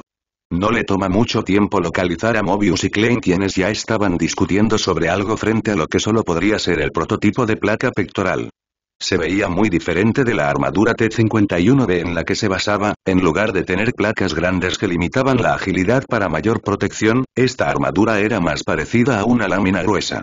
Las placas gruesas se cruzaban entre sí, pero estaban colocadas de manera que permitieran la máxima agilidad sin dar demasiada protección. El hecho de que los científicos pudieran usar Saturnita probablemente les dio más opciones que las que tenían los militares de U. Al diseñar su armadura, la Saturnita era simplemente más liviana y más fuerte, incluso con sus pocos aspectos negativos. Su pieza pectoral, por supuesto, era una gran pieza de Saturnita que abarcaba la mayor parte de la parte superior del cuerpo. Probablemente necesitarías unos cuantos miles de balas calibre 50 disparadas en un punto específico para atravesarlo, así de grueso y resistente era. Se trazó hacia abajo y tenía más placas de metal en forma de láminas en su abdomen para permitir el movimiento. Por supuesto, a petición de Afton, la armadura también tenía una importante protección al agacharse, sin embargo, esa parte de la armadura estaba cubierta por una tela sintética que tenía muchas placas diminutas de la mallar reforzándola. Parecía cualquier falda de placas vieja, terminaba en el muslo y no llegaba más para evitar una posible restricción del movimiento. Después de preguntar a los científicos, la protección del material sintético absorbía mejor la energía del fuego de las armas que las balas reales, la razón de esto era obvia, demasiados disparos láser en la entrepierna harían que sus pelotas literalmente se quemaran en la armadura, no divertido. Los brazos de la armadura eran resistentes y estaban chapados de manera que protegieran las articulaciones de golpes afortunados. Honestamente, Afton pensó que los científicos se habían inspirado enormemente en las armaduras medievales de antaño, lo cual no era una mala idea ya que mover sus armaduras realmente funcionó. Las manos eran las mismas, placas remachadas que las protegerían de un par de disparos de calibre 50 si fuera necesario, pero aún así te permitían agarrar, gesticular e interactuar con objetos con una destreza aceptable. Por supuesto, los nudillos tenían una pequeña hoja dentada adherida a ellos, Afton no estaba seguro si eran más útiles para el combate o para intimidar a la gente, las piernas estaban más blindadas que los brazos, más metal en las articulaciones, las rodillas y los tobillos. Había trozos de metal con púas en las rodilleras y los pies, para permitir que Afton o cualquier otra persona que usara la armadura pudiera patear la mierda y los órganos internos de alguien. Afton ciertamente no querría estar en el extremo opuesto de uno de esos ataques, volviendo a los científicos, todavía estaban discutiendo sobre lo que realmente deberían poner dentro de la armadura, como lo habían estado la última vez cuando discutieron sobre el casco. Aparentemente no podían decidir si un jetpack sería realmente útil o no para su usuario, proporcionaba un objetivo enorme, y si se rompía el compartimento de combustible, probablemente provocaría una muerte instantánea. Además, en realidad no había mucho para lo que se usaría el jetpack, el Mojave es esencialmente una llanura con algunos cañones aquí y allá. Tener superioridad aérea haría que el blindaje fuera un 400% más eficiente en combate. Exclama Mobius. Eso no es lo que significa superioridad aérea, imbécil. El jetpack que estás proponiendo solo permitirá minutos de vuelo a la velocidad de caminata. Solo estás ignorando el 300% de probabilidad aumentada de muerte para el usuario. Chicos, chicos. Afton camina entre ellos con una expresión apagada, girándose primero hacia Mobius, me gusta la idea, pero para la misión esta armadura está construida para un jetpack sería un inconveniente, quizás si desarrollaras un sistema de propulsión y combustible más eficiente. Podría ser viable, pero por ahora manténlo fuera de los diseños, hasta que queramos un batallón de soldados con capacidad de vuelo, dice apaciguadoramente. Afton. HMMM. Muy bien, dice Mobius como si estuviera haciendo un puchero, lobotomité. Ex-lobotomité. Estábamos esperando que llegues para poder discutir las características de la armadura. Afton se cruza de brazos, ignorando el nombre de lobotomita que Klein sigue usando para él y simplemente asiente para que continúe. Ya hemos integrado las diversas opciones defensivas que deseaba, material resistente al calor, defensas de armas energéticas y similares. También hemos añadido un puerto que permitirá que la IA de su traje sigilo habite la armadura y active manualmente cierta función en caso de que sea requerida. Explica y Mobius continúa. De hecho, Desafortunadamente, como estás instando a que el progreso se complete lo antes posible, no pudimos agregar las adiciones de campos de fuerza que deseabas, los dispositivos aún necesitan reducirse lo suficiente para que quepan correctamente en la armadura. Pudimos crear el look que deseaba. Sin embargo, lo ayudará a apuntar, identificar, estimar distancias y mapear. Usando el sensor de proximidad incorporado de tu Stealth Suits, debería poder mapear una pequeña cantidad de territorio a tu alrededor, aunque hay muchos factores que podrían codificar estos datos, así que trata de no confiar en ellos. Afton asiente, espero que hayas recordado que quería que me hicieran dos trajes, ¿verdad? Ambos científicos asienten con la cabeza, sin embargo, sin el traje invisible y su IA, las funciones de los otros trajes serían limitadas. Sin mapeo, sin IA, etc. Mobius explica. Afton se encoge de hombros. Eso realmente no importa, podemos mejorarlos más en el futuro. Piense en la misión como una prueba de estrés para ellos. Dice pero comienza a pensar en los servos, oye, ¿crees que podría probarlo por ahora? Creo que tal vez necesitemos calibrar los servos específicamente para mi fuerza, no soy realmente normal en ese sentido.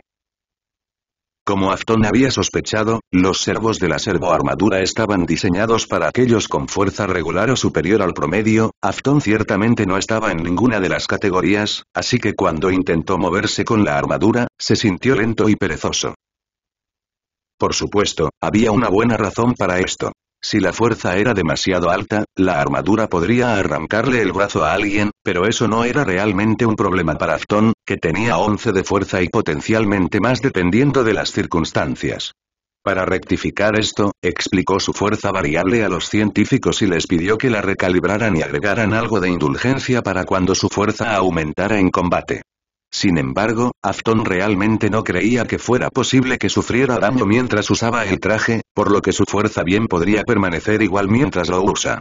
Después de unas horas más de pruebas, Afton finalmente estaba contento con la armadura, todavía necesitaba algunos retoques aquí y allá, pero había dejado que los científicos se encargaran de eso. Con suerte, Tania no tardaría mucho en encontrar un médico o podría dirigirse al fuerte sin ella. Esos cabrones se llevaron mi arma. Track exclama mientras se sienta, agravando aún más sus heridas. ¿Quieres acostarte y dejar de arruinar el trabajo que acabo de hacer? Rasga a los puntos una vez más y te dejaré de sangrar. Madeleine gruñe, apoyando una mano en su hombro con una mirada amenazadora. Ve bueno, no podemos simplemente no hacer nada. Me robaron mi mierda y nos impidieron recoger las gorras.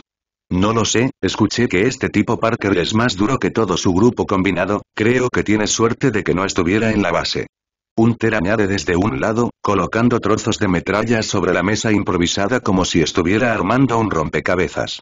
Madeleine asiente, solo mira a Stasus, no lo había visto tan golpeado desde que peleé con ese cabrón de Lanius, Traque frunce el ceño, no me lo recuerdes, esta es la segunda maldita vez que tenemos que huir sin nada que mostrar.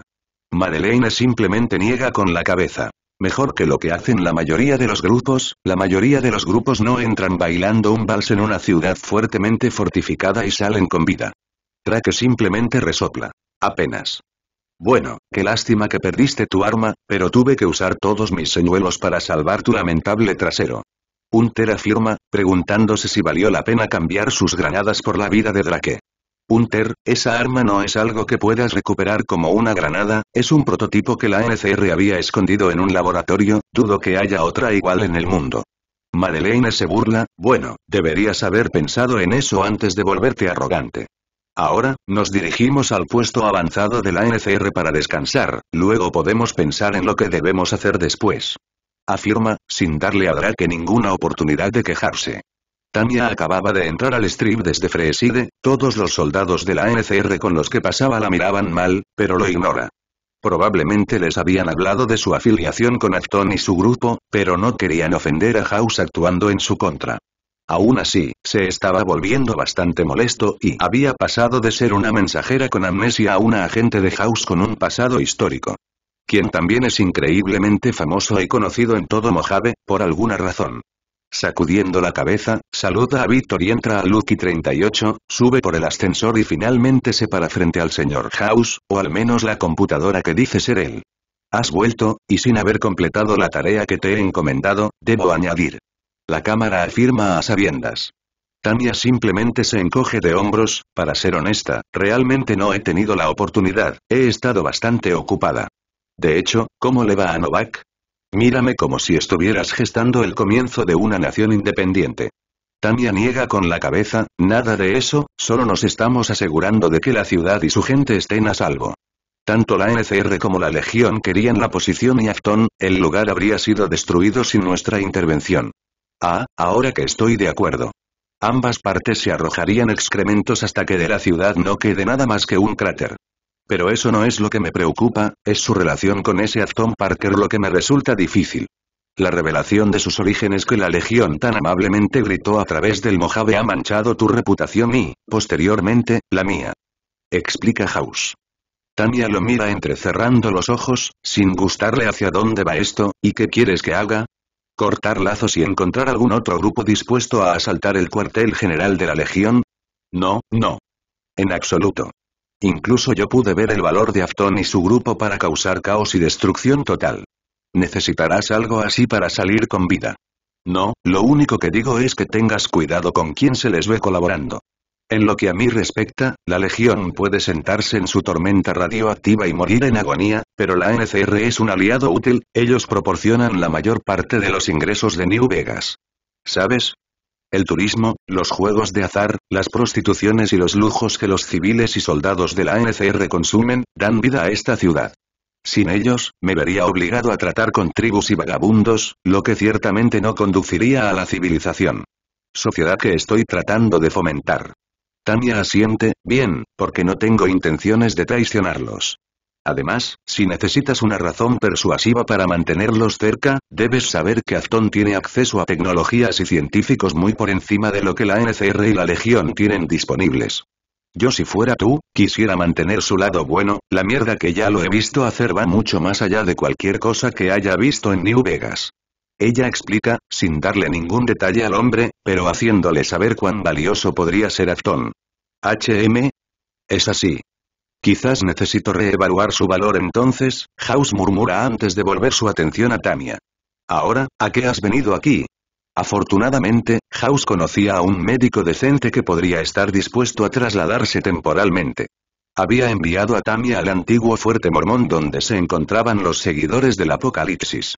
Aparentemente, el grupo le había estado causando problemas desde que se mudaron, molestando a la tecnología de Robco cuando tenían la oportunidad, intentando piratear el Lucky 38 para encontrar la fuente de la longevidad de House e incluso diciéndole a los nuevos visitantes de New Vegas que no desperdiciaran sus vidas en un casino, sí, a House no le agradaban ni un poco. Entonces, Tania consideró que pudo haber sido enviada a robar a uno de sus médicos para frenar la ganancia de influencia del grupo en Freeside. Los seguidores del Apocalipsis eran básicamente el único servicio de caridad en Mojave, y pasaban la mayor parte de su tiempo curando a los necesitados, ayudando a las personas con adicciones y brindando refugio a quienes habían gastado los ahorros de su vida en la franja. Tania pensaba que eran bastante respetables, aunque Novak necesitaba un médico. Y ahí es donde encontraría uno.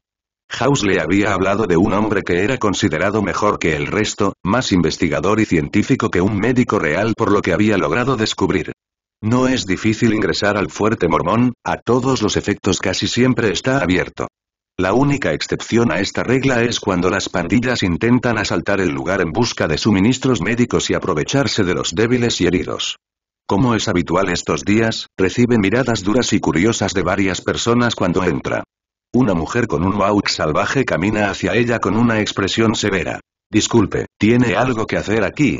Tamia levanta una ceja ante el saludo extrañamente hostil. Sí, estoy buscando a un tipo llamado Arca de Ganon, ¿lo conoces? Depende de por qué lo necesitas. Ella afirma, y Tamia simplemente le resopla a la mujer. Solo necesito hablar con él, eso es todo. Julia deja escapar un largo suspiro y señala una tienda de campaña en la parte trasera del fuerte. Él debería estar allí, aunque te estaré vigilando. Afirma y Tamia asiente, caminando hacia la tienda. Tamia se acerca a la tienda y entra, viendo a un hombre con cabello rubio corto y gafas inclinado sobre una mesa con un montón de papeles. Er, hola. El hombre se sobresalta ante el repentino saludo y lentamente se gira hacia ella, hola. ¿Necesitas algo? Pregunta brusca y bastante groseramente. Tamia asiente, estoy aquí para pedir tu ayuda, ah, de verdad. Arca de la interrumpe, déjame adivinar, alguien se torció el tobillo y todos los demás están ocupados con asuntos más urgentes. ¿O? ¿O se han quedado sin café otra vez? Tania levanta una ceja, eh, no, hace, ah, lo sé. ¿Necesitaban que alguien limpiara las heces de la ropa de alguien? Pregunta, aparentemente frustrándose aún más a medida que continúa. No. Tania finalmente exclama, deteniendo la perorata de Arcade. Ni siquiera trabajo con los seguidores del apocalipsis, ¿es eso algo que normalmente te obligan a hacer? Pregunta, sintiéndose Arcade más inteligente que esa chica Julia con la que había hablado antes. Arcade se encoge de hombros, está bien, puede que haya sido un poco bromista, pero no mucho. Mi investigación es importante y, sin embargo, la tratan como papel higiénico, seguro que está un poco decaído, pero no se puede forzar el progreso. Él suspira y la mira, ¿dijiste que necesitabas ayuda? Tania asiente. No solo yo, sino todo un pueblo. Vengo de Novak, ¿has oído hablar de él? Sus ojos se iluminan al reconocerlo, ah, sí, he oído hablar de él, y de ti, más importante, el misterioso mensajero que trabaja para House, ¿verdad? Yo no diría misterioso, solo olvidable. Ella bromea. Arca de resopla, olvidable. Estás haciendo historia, aún no estoy decidido si eso es bueno o no, ¿qué necesitas de mí? Por lo que escuché, Novak se ha convertido en una fortaleza, no soy exactamente así. Material de soldado. Tamia lo mira, no lo sé, creo que tienes potencial, pero además de eso, necesitamos un médico. La ciudad fue duramente golpeada el otro día por algunos mercenarios contratados por la NCR o la Legión. O ambos, para ser honesto, no me sorprendería si hubiera un tercero involucrado en la atención que hemos atraído. ¿Un médico, eh? No lo sé, quiero decir, mi investigación podría estar en una crisis, pero no es nada que un poco de esfuerzo no pueda solucionar, además, probablemente hay cientos de otros médicos a los que podrías ayudar. Contratan a personas que no utilizan sus habilidades para mejorar a sus semejantes. Tamia se encoge de hombros, probablemente los haya, pero dudo que pueda confiar en ellos. ¿Quién puede decir que no serán sobornados para estropear procedimientos, envenenar a los ciudadanos y asesinar objetivos de alta prioridad? Al menos vienes con una recomendación bastante fantástica. ¿Recomendación? Pregunta de quien parece completamente confundido. Tamia siente, House me envió en tu dirección. Si eso no es algo de lo que estar orgulloso, entonces no sé qué lo es. ¿Casa H? ¿Sabe quién soy? ¿Me está mirando? Arcade se ahoga con sus palabras, cuyas implicaciones lo hacen mirar ansiosamente alrededor de la tienda.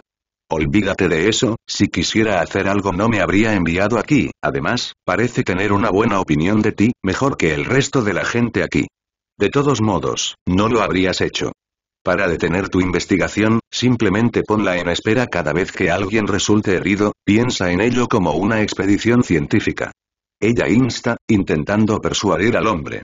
HMM, quiero decir, la gente dice que trabajar en un problema desde diferentes ángulos ayuda a completarlo, Novak, se detiene, ¿conoces a alguien llamado Daisy?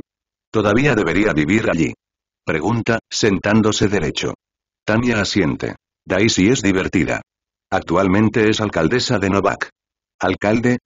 Eh, nunca pensé que aceptaría ese trabajo de buena gana. Él niega con la cabeza, como sea, me has convencido. Dice, levantándose, agarrando una cartera y metiendo sus papeles dentro, luego agarra un montón de suministros médicos y los guarda. Mientras hace esto, Tamia se da cuenta del defensor de plasma enfundado en su cadera debajo de su bata de laboratorio. Al menos él sabe defenderse, piensa para sí misma. Afton, Carl, Boone, Josie, Verónica y Anja se encontraban actualmente dentro de un edificio de apartamentos discutiendo el plan de infiltrarse en el fuerte. La servoarmadura se había completado hacía un par de días, así que todo lo que necesitaban ahora era planificar el asalto y esperar a que Tamia regresara. Boone señala con el dedo el mapa holográfico que hay sobre la mesa, cortesía de Afton y el think tank. Si vas a traer servoarmadura, dudo que simplemente te dejen subir a su balsa. Afirma, señalando a Cotonwood Cove. Cal asiente, la marca de César que recibió Tamia solo permitiría que una persona la acompañara, el resto de nosotros tendríamos que encontrar otra manera de entrar al fuerte. Afton se encoge de hombros y señala con el dedo la presa o a ver. ¿No podríamos cruzar la presa y acercarnos sigilosamente al fuerte? Sé que sus defensas serían enormes, pero con Dirto y muchas balas probablemente podríamos administrar, no lo sé, la última vez que vi las fortificaciones de la Legión al este de la presa fueron suficientes para detener a un ejército en seco. Podrían haber colocado minas, construido muros y creado trampas después de perder la primera batalla de Over. Presa. Afton suspira mientras golpea la mesa, está a punto de ofrecer otra opción cuando se abre la puerta del apartamento, revelando a Tamia que entra. Bienvenido de nuevo. Él dice. Tania le asiente, encontré a nuestro médico, lo dejé con Daisy para que puedan ponerse al día antes de que se instale en la tienda médica. ¿Alguien que conozcamos? Pregunta Afton, curiosa por saber a quién eligió. Ella se encoge de hombros, un tipo llamado Arca de Ganon, House lo recomendó. De todos modos, ¿qué es esto? Planes de batalla. Carl dice, pero Verónica resopla. Más como planes suicidas. Ahora mismo te enviaremos a Cotonwood Cove, un campo de esclavos, con una escolta. Mientras todos los demás se suben a Dirtog y conducen hacia tierras fuertemente fortificadas que pueden o pueden no ha estado absolutamente lleno de minas. Afton suspira. Cuando lo dices así parece que no hemos hecho nada, no digo que no hayas hecho nada, solo que lo que has hecho es una mierda de perro pegada al fondo de un sándwich de mierda, si tienes un plan mejor, no dudes en hablar. Boone pregunta intencionadamente, haciendo callar a Verónica por ahora. Tania se acerca y mira el mapa, parece que en realidad no hay otras opciones, ¿qué pensaría la NCR si intentaran pasar sobre la presa? ¿No pensaste en eso, verdad? Pregunta con una mirada apagada. Afton se palmea la cara, para ser justos, solo recientemente hemos sido enemigos de la NCR. No es como si esperara que la Legión revelara mi identidad a todos con y sin oídos. Tania simplemente niega con la cabeza y señala el lado norte del fuerte, donde el Colorado se cruza entre un campamento de la NCR y el cuartel general de la Legión. ¿Cuáles son las posibilidades de construir nuestra propia balsa y usarla aquí? Afton niega con la cabeza, imposible, si ignoramos el hecho de que tendríamos tanto a la NCR como a la Legión disparándonos mientras remamos a través del río, todavía estaríamos rodeados sin una forma viable de retirarnos, considerando el hecho de que estamos tratando de rescatar a la hija de Carl, es bastante importante, Dirtog es probablemente nuestra mejor opción para entrar y salir. Además, con la servoarmadura que usaremos, nadar sería imposible, además del hecho de que ninguno de los dos está diseñado para funcionar bajo el agua, todavía. Así que ¿qué hacemos? Josie pregunta mientras bebe una cerveza como si la discusión no la involucrara a ella. Afton da un largo suspiro, Tania y Josie atraviesan Cotonwood Cove a través de la entrada oficial. Josie no es tan destacada, por lo que su pasado con la NCR no se notaría de inmediato, además del hecho de que es una mujer. Oye exclamación de cierre que te jodan. Afton levanta una ceja ante las miradas de enojo que recibe y resopla. No lo digo en mal sentido, quiero decir que la legión son todos unos pedazos de mierda sexistas y te subestimarán. Explica antes de continuar. De todos modos, el resto de nosotros pasaremos por encima de la presa over y atravesaremos cualquier defensa que puedan tener, va a ser un espectáculo de mierda, pero para eso te apuntaste. Antes de que esto suceda, Tania y Josie intentarán localizar a la hija de Carl. Si los encuentras, los llevarás al búnker subterráneo de House, donde se mantendrán fuera de los combates posteriores, HMM, si ustedes dos toman a Dormeat, entonces podrán triangular las coordenadas para teletransportarse. Sí, eso es lo que haremos. Murmura la última parte. Lleva a Dormeat contigo y teletransporta a la hija de Carl fuera de allí, luego encuentra el búnker y haz lo que House quería. Si no puedes entrar sin pelear entonces espera a que lleguemos y lo haremos todos juntos. Para ser honesto, dudo que fuera fácil entrar al búnker super secreto de House, si lo fuera, la Legión habría obtenido acceso hace años. ¿Por qué no nos teletransportamos a la base? Pregunta Carl, recibiendo asentimientos de todos los demás. Porque prefiero no revelar que somos capaces de teletransportarnos, ya es bastante malo que algunos de los soldados en Novak estén conscientes de ello. Si simplemente le mostramos a la Legión lo que podemos hacer, simplemente nos delatarían para la hermandad, no sé ustedes, chicos, pero ya tenemos suficiente en nuestro plato contra la NCR y la Legión, además, prefiero tener a Dirto como respaldo en caso de que algo salga mal, proporcionará poder de disparo, cobertura y un escape viable en caso de que lo necesitemos. ¿Fresco? Kao se encoge de hombros, ¿sigues pensando que teletransportarse al interior sería más fácil que luchar contra un ejército? ¿Cómo esperas atravesar las defensas iniciales al este de la presa? Afton simplemente le sonríe y muestra el telémetro. Menos mal que tenemos una nuclear de repuesto para lanzarles. Anja levanta la mano para hablar, como si estuviera dentro de un salón de clases, Er, señor, ¿no será lo mismo usar eso y mostrar nuestra teletransportación? Afton se encoge de hombros. Dudo que alguien sobreviva a la explosión inicial, y después podemos interpretarlo como una detonación nuclear, probablemente estará bien, al menos por un tiempo. Sigo pensando que es una idea estúpida. Josie le dice en voz baja a Tamia mientras caminan hacia la entrada de Cotonwood Cove, con Dormeat siguiéndolos de cerca. Ya podían ver a los distintos exploradores de la Legión entrando y saliendo de su periferia, probablemente para informar de su aproximación. ¿Sí? Bueno, duro. No diste ninguna idea mejor, así que esto es con lo que nos encontramos. Tania responde y le da un codazo a Josie para que se dé cuenta de que los hombres se acercan a ellos. Todos visten ropa deportiva roja que ha sido transformada en una armadura improvisada. Cada uno llevaba gafas y máscaras de color negro para proteger su rostro del viento arenoso. Estás invadiendo territorio de la Legión. Declara tu negocio o soporta las consecuencias. Comanda el líder del grupo, cada uno de sus hombres ya preparado para sacar sus armas. Tamia le da al hombre una mirada apagada. ¿No te dijo César que vendría? Pregunta, mostrando la marca de César que había recibido. Al verlo, todos los legionarios se sobresaltaron y se volvieron hacia su líder con deferencia. M. Mark. Perdóname, no sabía que César había hecho tal regalo, entonces estás aquí para reunirte con el gran César. Tamia asiente, lo estoy, espero que podamos ser rápidos con esto, tengo algo de gran importancia para César. Ella afirma y el hombre asiente rápidamente. Por supuesto. Sígueme. Además, trata de mantener a tu perro cerca. Dice, guiando al duro cuesta abajo hacia la cala. Tamia y Josie miran con enojo apenas disimulado el estado del lugar. Cientos, si no miles, de legionarios están presentes, tiendas de campaña rojas esparcidas hasta donde alcanza la vista con un edificio principal en el medio, a juzgar por la antena, es más probable que se comunique a través de la radio. Cerca hay un área enjaulada con muchas personas oprimidas y de aspecto demacrado adentro, cada una con un collar grueso alrededor del cuello que ocasionalmente parparea con una luz roja. El líder al notar su mirada les sonríe, como los bolígrafos, Después de que hayan hecho su informe a César, les permitiré comprar uno de ellos, quizás un macho. ¿No? ¿Preferirían? Joven, no. No. Preferimos, eh, esclavos dispuestos, es mucho más satisfactorio que nos laman las botas que arrastrarnos y suplicar. Dice Tamia, lanzando un par de miradas a Josie, quien está luchando por no golpear al hombre.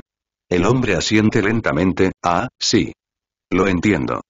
Entiendo lo que dices, a veces la gratitud es mucho más dulce que el terror, pero ambos tienen su lugar. ¿Son esos todos los esclavos? Pregunta de repente Tamia, recordando que se supone que deben rescatar a la hija de Carl. El legionario niega con la cabeza, solo los nuevos que hemos logrado traer. ¿Por qué? Solo me preguntaba, pensé que la legión tendría muchos más esclavos que esa miserable suma. Tamia explica con una sonrisa tímida. Muy pronto los llevan al muelle, hay una pequeña choza barra bar al lado, así como una gran balsa flotando al final de la pasarela. Hay un solo hombre parado encima con un gran remo, lo que hace que Tamia se pregunte cómo iba a transportarlos río arriba sin ninguna ayuda, los legionarios no les hacen ninguna otra pregunta, la palabra de César es ley aquí, por lo que cuestionar a quien le entrega su marca equivale a herejía, el castigo. Exterminatus, solo bromeaba. Es solo crucifixión. A Tamia y Josie las llevan a la balsa y les dicen que se sienten, se paren o lo que sea que les resulte más cómodo. Luego, el hombre soltero comienza a remar con todas sus fuerzas río arriba, el sudor le brota casi de inmediato y ambos están seguros de que se desmayará bastante pronto. Afortunadamente, parece más resistente de lo que se esperaba inicialmente. Están en el Colorado, pero no lo suficientemente cerca de la presa para ser vistos. En cambio, atracan en el lado este del río y viajan por un camino bastante escondido. Después de atravesar los pasadizos secretos y demás, son llevados a las principales defensas del frente de la legión. Les dan miradas extrañas, pero los ignoran por completo mientras los conducen hacia el fuerte que se encuentra en la cima de la gran colina. El camino hacia el fuerte serpentea en zigzag cuesta arriba, pero finalmente llegan a una gran puerta que conduce a un puente que da a un gran pozo. Sin embargo, antes de que los dejen entrar, el portero los detiene. Los invitados al fuerte deben entregar todas las armas prohibidas. Afirma mientras mira al duro con los brazos cruzados. Tania mira a Josie y se encoge de hombros, entrega su revólver pero deja su hacha protón en su cintura, no tiene sentido dejarles saber lo que hace. Josie hace lo mismo pero el hombre continúa mirando a Tamia, ¿qué es eso? Pregunta, señalando el hacha protón. Tamia se encoge de hombros, es una férula de metal en caso de que me vuelva a lastimar la pierna, verás, tengo una lesión molesta en la rodilla, y no confío en los trozos de madera podridos que pasan por férulas. Explica, dándole la mirada más convincente que puede, aunque, para la mayoría, parecería que estaba estrelida. El hombre lo toma y lo mira, apenas falta el interruptor de encendido, se encoge de hombros y se lo devuelve. No lo empuñes dentro del fuerte o te ocuparán de inmediato. Afirma y Tamia asiente. ¿Qué pasará con nuestras armas? Pregunta Tamia, sabiendo que probablemente no les recordarán cómo iba a pasar la mierda pronto. Te los devolveré cuando salgas. Ahora vete, César estaba ansioso por conocerte.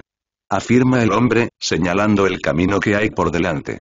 El dúo continúa adelante con su guía guiándolos, suben la colina y son recibidos por la vista de muchos esclavos que cargan objetos terriblemente pesados sobre sus espaldas deformadas.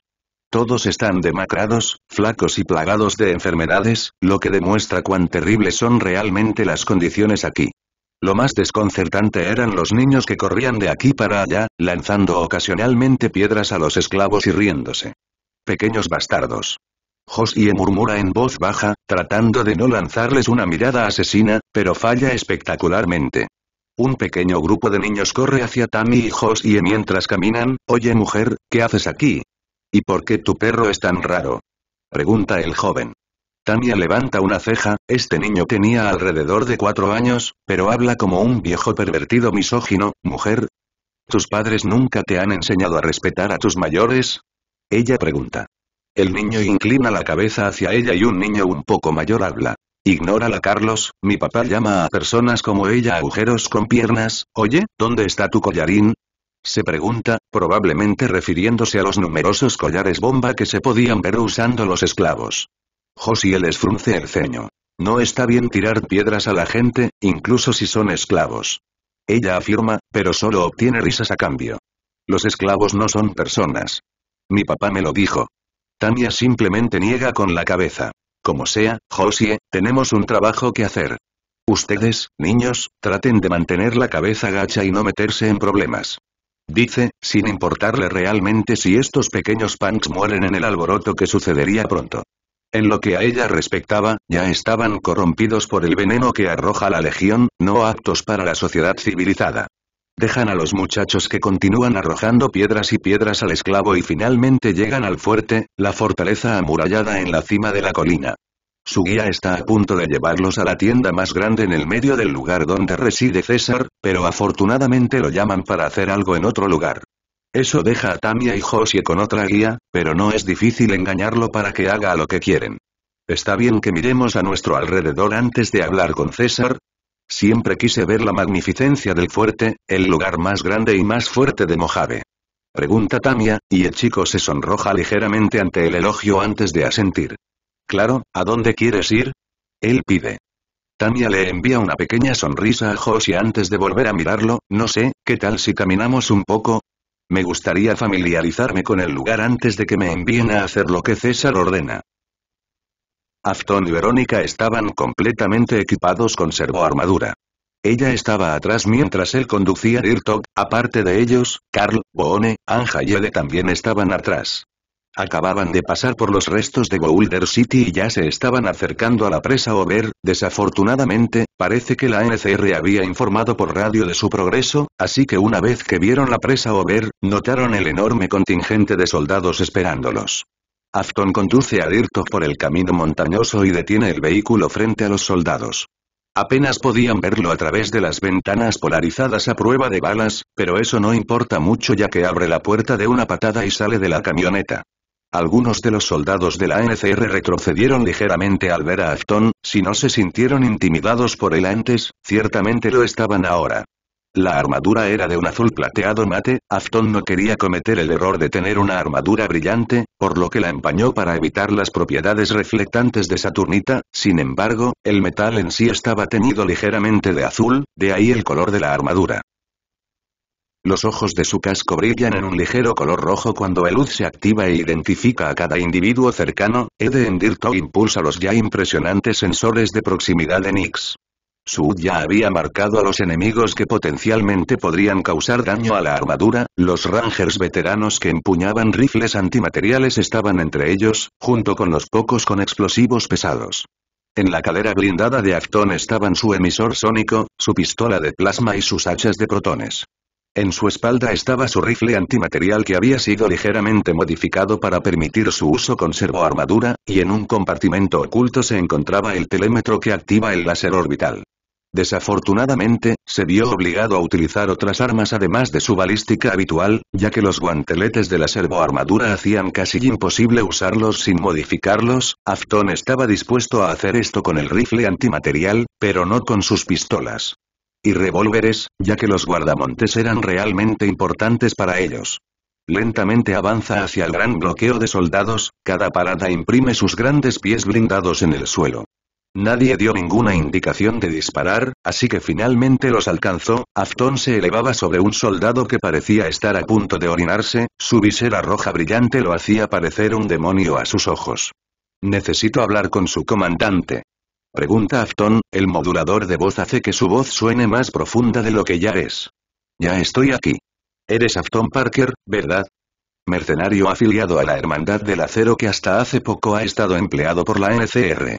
Dice una mujer mientras se acerca, parece tener unos 50 años, ojos cansados y cabello corto.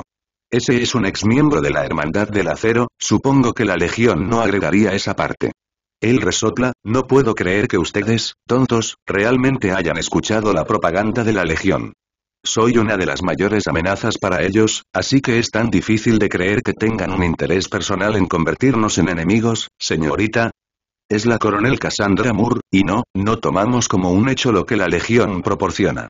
Investigamos y descubrimos que te buscan, Parker.